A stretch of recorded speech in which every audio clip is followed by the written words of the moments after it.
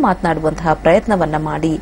ಇನ್ನು ಇವತ್ತಿನ ಕಾರ್ಯಕ್ರಮದಲ್ಲಿ ಸ್ಕಿನ್ಗೆ ಸಂಬಂಧಪಟ್ಟಂತಹ ನಾನಾ ರೀತಿಯಾದ ಸಮಸ್ಯೆಗಳು, ಅಂದ್ರೆ ಸ್ಕಿನ್ನಲ್ಲಿ ಆಗುವಂತಹ ಒಂದು ಅಲರ್ಜೀಸ್ ಇರಬಹುದು ಅಥವಾ ಕೆಲವೊಂದು ರ್ಯಾಷಸ್ ಆಗಿರ್ಬೋದು, ಪಿಗ್ಮೆಂಟೇಷನ್ ಇರಬಹುದು ಅಥವಾ ಫಂಗಲ್ ಇನ್ಫೆಕ್ಷನ್ ಆಗುವಂಥದ್ದು, ಸೋರಿಯಾಸಿಸ್ ಇರಬಹುದು ಅಥವಾ ಡರ್ಮಟೈಟಿಸ್ ಇರಬಹುದು ವಿಟಿಲಿಗೋ ಇರಬಹುದು ಇಂತಹ ನಾನಾ ರೀತಿಯಾದ ಪ್ರಾಬ್ಲಮ್ಸ್ಗಳನ್ನ ನೀವೇನಾದರೂ ಫೇಸ್ ಮಾಡ್ತಾ ಇದ್ರೆ ನೇರ ಪ್ರಸಾರ ಕಾರ್ಯಕ್ರಮಕ್ಕೆ ಕರೆ ಮಾಡಿ ಡಾಕ್ಟರ್ ಒಟ್ಟಿಗೆ ಮಾತನಾಡಬಹುದು ಅಂತ ಹೇಳ್ತಾ ಬನ್ನಿ. ಇವತ್ತಿನ ಕಾರ್ಯಕ್ರಮವನ್ನ ಶುರು ಮಾಡೋಣ.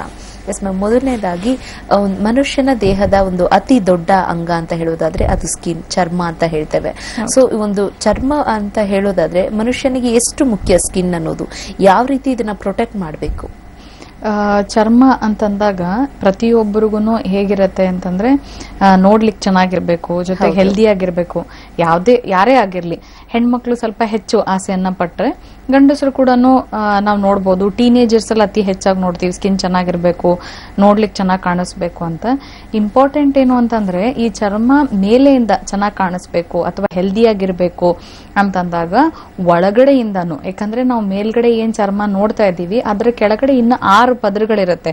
ಸೊ ಒಳಗಡೆಯಿಂದ ಆರೂ ಪದರುಗಳು ಕೂಡ ಹೆಲ್ದಿಯಾಗಿದ್ವು ಅಂತಂದ್ರೆ ಅದಕ್ಕೆ ಆಕ್ಸಿಜನ್ ಎಷ್ಟು ಬೇಕೋ ಅಷ್ಟು ಸಿಗ್ತಾ ಇತ್ತು ಅಂದ್ರೆ ಅದಕ್ಕೆ ಬೇಕಾಗಿರುವಂತಹ ನ್ಯೂಟ್ರಿಯೆಂಟ್ಸ್ ಪೌಷ್ಟಿಕಾಂಶ ಕರೆಕ್ಟ್ ಆಗಿ ಸಿಗ್ತಾ ಇತ್ತು ಅಂದ್ರೆ ರಕ್ತ ಸಂಚಾರ ಕರೆಕ್ಟ್ ಆಗಿ ಆಗ್ತಾ ಇತ್ತು ಅಂದ್ರೆ ಅದರ ಜೊತೆ ಜೊತೆಗೆ ಅಲ್ಲಿರುವಂತಹ ಬಿಳಿ ರಕ್ತ ಕಣಗಳು ಚೆನ್ನಾಗಿದ್ವು ಅಂತಂದಾಗ ಆಗ ಚರ್ಮ ಏನಾಗುತ್ತೆ? ಮೇಲ್ಗಡೆಯಿಂದ ಅಥವಾ ಹೊರಗಡೆಯಿಂದ ಹೆಲ್ದಿಯಾಗಿ ಕಾಣಿಸ್ಕೊಳ್ಳಿಕ್ಕೆ ಪ್ರಾರಂಭವಾಗುತ್ತೆ. ಒಳಗಡೆ ಆರು ಪದರಗಳಲ್ಲಿ ಎಲ್ಲಾದರೂ ಒಂದು ಸ್ವಲ್ಪ ಅಲರ್ಜಿ ಸೆಲ್ಸ್ಗಳೇ ಹೆಚ್ಚಿತ್ತು, ಅಥವಾ ಹಿಸ್ಟಮಿನ್ ಅನ್ನೋ ಒಂದು ಅಂಶ ಹೆಚ್ಚಿತ್ತು ಇಸೋನೋಫಿಲ್ ಕೌಂಟ್ಸ್ ಹೆಚ್ಚಾಗಿತ್ತು, ಅಥವಾ ಒಳಗಡೆ ಏನಾದರೂ ಬ್ಯಾಕ್ಟೀರಿಯಾಗಳೇ ಇದ್ವು, ಅಥವಾ ವೈರಸ್ಗಳೇ ಇದ್ವು, ಅಥವಾ ಫಂಗಸ್ಸೇ ಇತ್ತು ಅಂತಂದಾಗ ಖಂಡಿತವಾಗ್ಲೂ ಮೇಲ್ಗಡೆಯಿಂದ ಅದರದ್ದು ಇಫೆಕ್ಟ್ ಕಾಣಿಸ್ಕೊಂಡೇ ಕಾಣಿಸ್ಕೊಳತ್ತೆ ಅಂದರೆ ಮೇಲ್ಗಡೆ ತುರಿಕೆ ಆಗಿರ್ಬೋದು ಸಣ್ಣ ಸಣ್ಣ ಗುಳ್ಳೆಗಳಾಗಿರ್ಬೋದು, ಅಥವಾ ಮಚ್ಚೆಗಳಾಗಿ ಕಾಣಿಸ್ಕೊಳ್ಬೋದು, ಅಥವಾ ಮೊಡವೆಗಳು ಕಾಣಿಸ್ಕೊಳ್ಬೋದು. ಸೊ ಆರೂ ಪದರುಗಳು ಚೆನ್ನಾಗಿದ್ದಾಗ ಮಾತ್ರನೇ ಚರ್ಮದಲ್ಲಿ ಆಗ ಹೊರಗಡೆಯಿಂದ ಚರ್ಮ ಹೆಲ್ದಿಯಾಗಿ ಕಾಣಿಸ್ಕೊಳ್ಳಿಕ್ಕೆ ಪ್ರಾರಂಭವಾಗುತ್ತೆ. ಇದು ಬಹಳ ಇಂಪಾರ್ಟೆಂಟ್ ಸೊ ಚರ್ಮದ ಸಮಸ್ಯೆಗಳಿದೆ ಅಥವಾ ಚರ್ಮದ ಕಾಯಿಲೆಗಳೇ ಇದೆ ಅಂತಂದಾಗ ಸಾಕಷ್ಟು ಜನ ಮಾತ್ರೆಗಳೇ ತಗೊಳಲ್ಲ. ಯಾಕಂತಂದ್ರೆ ಅದು ಮೇಲ್ಗಡೆ ಅಲ್ವಾ? ಸೊ ಏನಾದ್ರೂ ಮೇಲ್ಗಡೆನೆ ಹಚ್ಕೊಳ್ಳಿ ಕೊಡಿ ಅನ್ನುವಂಥದ್ದು. ಒಳಗಡೆ ಪದರುಗಳು ಕೂಡ ಬಹಳ ಬಹಳ ಇಂಪಾರ್ಟೆಂಟ್ ಆಗುತ್ತೆ. ಆಗ ಮಾತ್ರ ಮೇಲ್ಗಡೆ ಇರುವಂತ ಚರ್ಮದ ಮೇಲೆ ಇರುವಂತ ಇನ್ಫೆಕ್ಷನ್ಸ್ ಸಂಪೂರ್ಣವಾಗಿ ಹೋಗುವಂಥದ್ದು. ಇನ್ನು ಇಂಪಾರ್ಟೆಂಟ್ ಏನು ಅಂದ್ರೆ ನಮಗ್ ಗೊತ್ತಿಲ್ಲದೇನೆ ನಮ್ಮ ಚರ್ಮ ಸಾಕಷ್ಟು ಕೆಲಸಗಳನ್ನ ಮಾಡ್ತಾ ಇರುವಂತದ್ದು ಸೊ ಈಗ ನಮ್ಮ ಚರ್ಮದ ಕೆಳಗಡೆನೆ ಲಾಸ್ಟ್ ಪದರ ಏನಿರುತ್ತೆ? ಚರ್ಮದಲ್ಲಿರುವಂತಹ ಅಲ್ಲೇನೆ ಕೊಬ್ಬಿನಂಶ ಇರುವಂತದ್ದು ಅಂದ್ರೆ ಅಡಿಪೋಸ್ ಟಿಶ್ಯೂ ಅಂತ ಹೇಳ್ತೀವಿ. ಉದಾಹರಣೆಗೆ ನಾವೇನಾದ್ರೂ ತುಂಬಾ ಉಪವಾಸ ಇದ್ವಿ ಅಥವಾ ಆ ಟೈಮಲ್ಲಿ ಊಟ ಮಾಡ್ಲಿಕ್ಕೆ ಆಗ್ಲಿಲ್ಲ ಅಂತಂದಾಗ ನಮ್ಮ ದೇಹಕ್ಕೆ ಬೇಕಾಗಿರುವಂತಹ ಗ್ಲೂಕೋಸ್ ಅನ್ನ ಈ ಒಂದು ಚರ್ಮದ ಕೆಳಗಡೆ ಇರುವಂತಹ ಫ್ಯಾಟ್ ಲೇಯರ್ ಇಂದನೇ ನಮ್ಮ ದೇಹ ಉಪಯೋಗಿಸ್ಕೊಳ್ಳುವಂಥದ್ದು ಬಹಳ ಇಂಪಾರ್ಟೆಂಟ್. ಎರಡನೇದಾಗಿ ಬಹಳ ಇಂಪಾರ್ಟೆಂಟ್ ಏನು ಅಂದ್ರೆ ನಾವು ಸೂರ್ಯನ ಬೆಳಕಿಗೆ ಒಂದು ಏಳು ಅಥವಾ ಎಂಟು ಗಂಟೆ ಮುಂಚೆ ಬೆಳಗ್ಗೆ ಹೋದಾಗ ಆ ಸೂರ್ಯನ ಬೆಳಕಲ್ಲಿ ಏನು ವೈಟಮಿನ್ ಡಿ ಅನ್ನೋ ಒಂದು ಅಂಶ ಸಿಗುತ್ತೋ ಅದು ನ್ಯಾಚುರಲ್ ಆಗಿ ನಮ್ಮ ಸೂರ್ಯನ ಕಿರಣಗಳಿಂದ ಸಿಗುವಾಗ ಅದು ಚರ್ಮದ ಮೂಲಕವೇನೆ ನಮಗೆ ಮೂಳೆಗಳಿಗಾಗಿರ್ಬೋದು ಮಾಂಸಖಂಡಗಳಿಗಾಗಿರ್ಬೋದು ಹೋಗಿ ತಲುಪುವಂಥ ಕೆಲಸ ಮಾಡುವಂಥದ್ದು. ಅದು ಕೂಡ ಬಹಳ ಇಂಪಾರ್ಟೆಂಟು. ಇನ್ನು ಮೂರನೇದಾಗಿ, ಈಗ ನಮ್ಮ ದೇಹದಲ್ಲಿ ಸುಮಾರು ಐದು ಐದು ಲೀಟರ್ ಅಷ್ಟು ನೀರಿನಂಶ ಇರುವಂಥದ್ದು. ಸುಮಾರು ಎಪ್ಪತ್ತರಿಂದ ಎಂಬತ್ತು ಭಾಗದಷ್ಟು ನಮ್ಮ ದೇಹದ ಒಳಗಡೆ ನೀರಿನಂಶ ಹೊರಗಡೆ ಹೋಗಬಾರದು ಅಂತಂದಾಗ ಅದನ್ನು ತಡೆಗಟ್ಟಲಿಕ್ಕೆ ಕೂಡ ನಮ್ಮ ಚರ್ಮ ಬಹಳ ಇಂಪಾರ್ಟೆಂಟ್ ಆಗಿ ಕೆಲಸವನ್ನು ಮಾಡ್ತಾ ಇರುತ್ತೆ. ಅದರ ಜೊತೆ ಜೊತೆಗೆ ಇಂಪಾರ್ಟೆಂಟ್ ಏನು ಅಂದರೆ, ಈಗ ನೋಡ್ಬೋದು ನಾವು, ಈಗ ಬೇಸಿಗೆಗಾಲ ಇರುತ್ತೆ, ಚಳಿಗಾಲ ಇರುತ್ತೆ, ಮಳೆಗಾಲ ಇರುತ್ತೆ. ಸೊ ಯಾವಾಗ ಯಾವಾಗ ತಾಪಮಾನ ಹೊರಗಡೆ ವಾತಾವರಣದಲ್ಲಿ ಚೇಂಜ್ ಆಗ್ತಾ ಹೋಗುತ್ತೋ ಟೆಂಪ್ರೇಚರು ಅದೇ ರೀತಿಯಾಗಿ ನಮ್ಮ ದೇಹದ ಒಳಗಡೆ ಕೂಡ ತಾಪಮಾನ ಅಂದ್ರೆ ಟೆಂಪರೇಚರು ವ್ಯತ್ಯಾಸಗಳು ಆಗ್ತಾ ಇರುತ್ತೆ. ಉದಾಹರಣೆಗೆ ಇವಾಗ ತುಂಬಾ ಹೊರಗಡೆ ಬಿಸಿಲಿತ್ತು ಅಂತಂದಾಗ ಏನಾಗುತ್ತೆ? ನಮ್ಮ ದೇಹದ ಒಳಗಡೆ ಜೀರ್ಣ ಆಗುವಾಗ ಅಲ್ಲಿ ತಾಪಮಾನ ಹೆಚ್ಚಾಯಿತು ಟೆಂಪರೇಚರ್ ಹೆಚ್ಚಾಯಿತು ಅಂದ ಕೂಡ್ಲೇನೆ ನಮ್ಮ ಚರ್ಮದ ಒಳಗಡೆ ಇರುವಂತಹ ಸ್ವೆಟ್ ಗ್ರಂಥಿಗಳು ಅಂದ್ರೆ ಬೆವರಿನ ಗ್ರಂಥಿಗಳು ಆಕ್ಟಿವೇಟ್ ಆಗಿ ಏನ್ ಮಾಡುತ್ತೆ? ಒಳಗಡೆ ಇರುವಂತ ತಾಪಮಾನವನ್ನ ಕಡಿಮೆ ಮಾಡಲಿಕ್ಕೆ ಟೆಂಪರೇಚರ್ನ ಕಡಿಮೆ ಮಾಡಲಿಕ್ಕೆ ಅತಿ ಹೆಚ್ಚಾಗಿ ಬೆವರು ಬರ್ತಾ ಹೋಗುವಂಥದ್ದು. ಅದೇ ರೀತಿಯಾಗಿ ಇವಾಗ ಚಳಿಗಾಲದಲ್ಲಿ ಏನಾಗುತ್ತೆ? ಚರ್ಮ ಆಗಿರ್ಬೋದು ಅಥವಾ ಒಳಗಡೆ, ನಮ್ಮ ದೇಹದ ಒಳಗಡೆ ಆಗಿರ್ಬೋದು, ಎಲ್ಲಾ ಭಾಗಗಳಲ್ಲೂ ಒಣಗುತ್ತಾ ಹೋಗುವಂಥದ್ದು, ಡ್ರೈನೆಸ್ ಅತಿ ಹೆಚ್ಚಾಗಿ ಆಗ್ತಾ ಹೋಗುವಂಥದ್ದು. ಸೊ ಆಗೇನಾಗುತ್ತೆ ನಮ್ಮ ಚರ್ಮದ ಒಳಗಡೆ ಒಂದು ಸೆಬೇಷಿಯಸ್ ಗ್ರಂಥಿ ಅಂತ ಇರುತ್ತೆ. ಇದು ಆಯಿಲ್ ಅನ್ನ ನ್ಯಾಚುರಲ್ ಆಗಿ ಆಯಿಲ್ ಅನ್ನ ಉತ್ಪತ್ತಿ ಮಾಡುವಂಥದ್ದು. ಸೊ ಯಾವಾಗ ಹೊರಗಡೆ ತಾಪಮಾನದಲ್ಲಿ ಡ್ರೈನೆಸ್ ಹೆಚ್ಚಾಗ್ತಾ ಹೋಗುತ್ತೋ ವಿಂಟರ್ ಅಥವಾ ಚಳಿಗಾಲ ಸ್ಟಾರ್ಟ್ ಆಗುತ್ತೋ, ಆಗ ಈ ಸೆಬೇಷಿಯಸ್ ಗ್ರಂಥಿ ತಂತಾನೆ ಚರ್ಮದಿಂದ ಉತ್ಪತ್ತಿಯಾಗಿ ನಮ್ಮ ದೇಹದ ಒಳಗಿನ ಏನು ಗ್ರಂಥಿಗಳಾಗಿರ್ಬೋದು, ಒಳಗಿನ ಆರ್ಗನ್ಸ್ ಆಗಿರ್ಬೋದು, ಜೊತೆಗೆ ಚರ್ಮವನ್ನ ಚೆನ್ನಾಗಿಟ್ಕೊಳ್ಳಿಕ್ಕೆ ಆಯಿಲ್ ರೀಟೈನ್ ಮಾಡ್ಕೊಳ್ಳಿಕ್ಕೆ ನ್ಯಾಚುರಲ್ ಆಗಿ ಸೀಬಮ್ ಅನ್ನೋ ಒಂದು ಆಯಿಲ್ ಉತ್ಪತ್ತಿ ಆಗುವಂಥದ್ದು ಸೊ ಹಾಗಾಗಿ ನಮ್ಗೆ ಗೊತ್ತಿಲ್ಲದೇನೆ ನಮ್ಮ ಚರ್ಮ ಇಷ್ಟೆಲ್ಲ ಕೆಲಸಗಳನ್ನು ಮಾಡ್ತಾ ಇರುತ್ತೆ.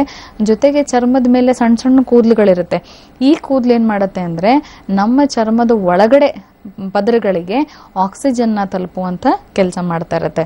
ಸೊ ಹಾಗಾಗಿ ನಮ್ಮ ಚರ್ಮವನ್ನ ನಾವು ಎಷ್ಟು ನಿರ್ಲಕ್ಷ್ಯ ಮಾಡ್ತಿರೋ ಅಷ್ಟು ಕಾಯಿಲೆಗಳು ಹೆಚ್ಚಾಗ್ತಾ ಹೋಗುವಂಥದ್ದು. ಎಸ್ ಮ್ಯಾಮ್ ಈಗ ನೀವು ಹೇಳ್ತಾ ಇದ್ರಿ. ಈಗ ಅಂದ್ರೆ ಚರ್ಮದ ಮೇಲಿರುವಂತಹ ಕೂದಲನ್ನು ಕೂಡ ಯಾವ ರೀತಿ ಪ್ರೊಟೆಕ್ಷನ್ ಕೊಡುತ್ತೆ ಅಂತ ಹೇಳ್ತಿದ್ರಿ. ಸೊ ಇವಾಗ ಎಷ್ಟೋ ಜನ ಫಾರ್ ಎಕ್ಸಾಂಪಲ್ ಈಗ ಫೇಸ್ ಅಂತ ತಗೊಂಡ್ರೆ ಫೇಸ್ ಅಲ್ಲಿರೋ ಹೇರ್ ಎಲ್ಲ ರಿಮೂವ್ ಮಾಡಿಸುವಂತದನ್ನ ನಾವು ನೋಡ್ತೇವೆ. ಅಥವಾ ಕೆಲವೊಬ್ಬರನ್ನ ನೋಡಬಹುದು. ನನ್ಗೆ ಫೇಸ್ ವಾಶ್ ಮಾಡಿದ ಕೂಡಲೇ ಇಮಿಡಿಯೇಟ್ ಆಗಿ ಯಾವ್ದಾದ್ರು ಕ್ರೀಮ್ ಅನ್ನ ಅಪ್ಲೈ ಮಾಡ್ಲಿಲ್ಲ ಅಂದ್ರೆ ತುಂಬಾ ಡ್ರೈನೆಸ್ ಆಗುತ್ತೆ ಅಂತ ಹೇಳ್ತಾರೆ. ಇನ್ ಕೆಲವೊಬ್ರು ನನಗೆ ನಾನು ಎಷ್ಟೇ ರೆಡಿ ಆದ್ರೂ ಕೂಡ ಬೇಗ ಆಯಿಲ್ ಇನ್ಕ್ರೀಸ್ ಆಗುತ್ತೆ ನನ್ನ ಫೇಸ್ ಅಲ್ಲಿ ಅಂತ ಹೇಳ್ತಾರೆ. ಸೊ ಇದ್ರ ಬಗ್ಗೆ ಏನೇನ ತಿಳಿಸ್ತೀರಾ? ಇತ್ತೀಚೆಗೆ ಇವೆಲ್ಲ ಕಾಣಿಸ್ಕೊಳ್ತಾ ಇರೋದು ಕೇವಲ ಒಂದೇ ಕಾರಣಕ್ಕೆ. ಯಾಕಂದ್ರೆ ನಾವು ಜಾಸ್ತಿ ಕ್ರೀಮ್ಗಳನ್ನು ಉಪಯೋಗಿಸ್ತಾ ಇದ್ದೀವಿ, ಜಾಸ್ತಿ ಆಯಿಂಟ್ಮೆಂಟ್ಗಳನ್ನು ಉಪಯೋಗಿಸ್ತಿದ್ದೀವಿ ಯಾರೇ ಒಂದು ಫೀಮೇಲ್ಸೇ ಆಗಿರಲಿ ಅಥವಾ ಮೇಲ್ಸೇ ಆಗಿರಲಿ, ಯಾರೇ ಒಬ್ರು ಪುರುಷ ಅಥವಾ ಮಹಿಳೆ ಅಥವಾ ಸಣ್ಣ ಸಣ್ಣ ಮಕ್ಕಳು ಕೂಡ ಹೊರಗಡೆ ಹೋಗಬೇಕು ಅಂತಂದಾಗ ಕ್ರೀಮ್ ಹಚ್ಕೊಂಡೇ ಹೋಗುವಂಥದ್ದು, ಆಯಿಂಟ್ಮೆಂಟ್ ಹಚ್ಕೊಂಡೇ ಹೋಗುವಂಥದ್ದು, ಅಥವಾ ಬಾಡಿ ಲೋಷನ್ ಉಪಯೋಗಿಸ್ಕೊಂಡೇ ಹೋಗುವಂಥದ್ದು. ಈ ಬಾಡಿ ಲೋಷನ್ ನಮ್ಮ ದೇಹಕ್ಕೆ ಬೇಕಾ ಬೇಡವಾ? ಇದು ಬಹಳ ಇಂಪಾರ್ಟೆಂಟ್. ನಿಮ್ಮ ನೀವು ನಿಮ್ ಚರ್ಮ ನೋಡಿದ ಕೂಡ್ಲೇನೆ ನೀವೇನೆ ಅರ್ಥಕೊಳ್ಬಹುದು ಎಲ್ಲರೂ ಹಚ್ಕೋತಾ ಇದ್ದಾರೆ ಬಾಡಿ ಲೋಷನ್ ಅಂತ ನಾವು ಹಚ್ಕೊಳ್ಳೋದು ಖಂಡಿತವಾಗ್ಲೂ ತಪ್ಪಾಗತ್ತೆ. ನಿಮ್ಮ ದೇಹಕ್ಕೆ ಅವಶ್ಯಕತೆ ಇದ್ರೆ ಮಾತ್ರನೇ ಉಪಯೋಗಿಸ್ಬೇಕಾಗತ್ತೆ. ಒಂದು. ಎರಡನೇದಾಗಿ ಇತ್ತೀಚೆಗೆ ಬಹಳ ಜನ ಉಪಯೋಗಿಸ್ತಾ ಇರುವಂತದ್ದು ಏನು ಅಂತಂದ್ರೆ ಸನ್ ಪ್ರೊಟೆಕ್ಟಿಂಗ್ ಕ್ರೀಮ್ ಅಂತ ಉಪಯೋಗಿಸ್ತಾರೆ.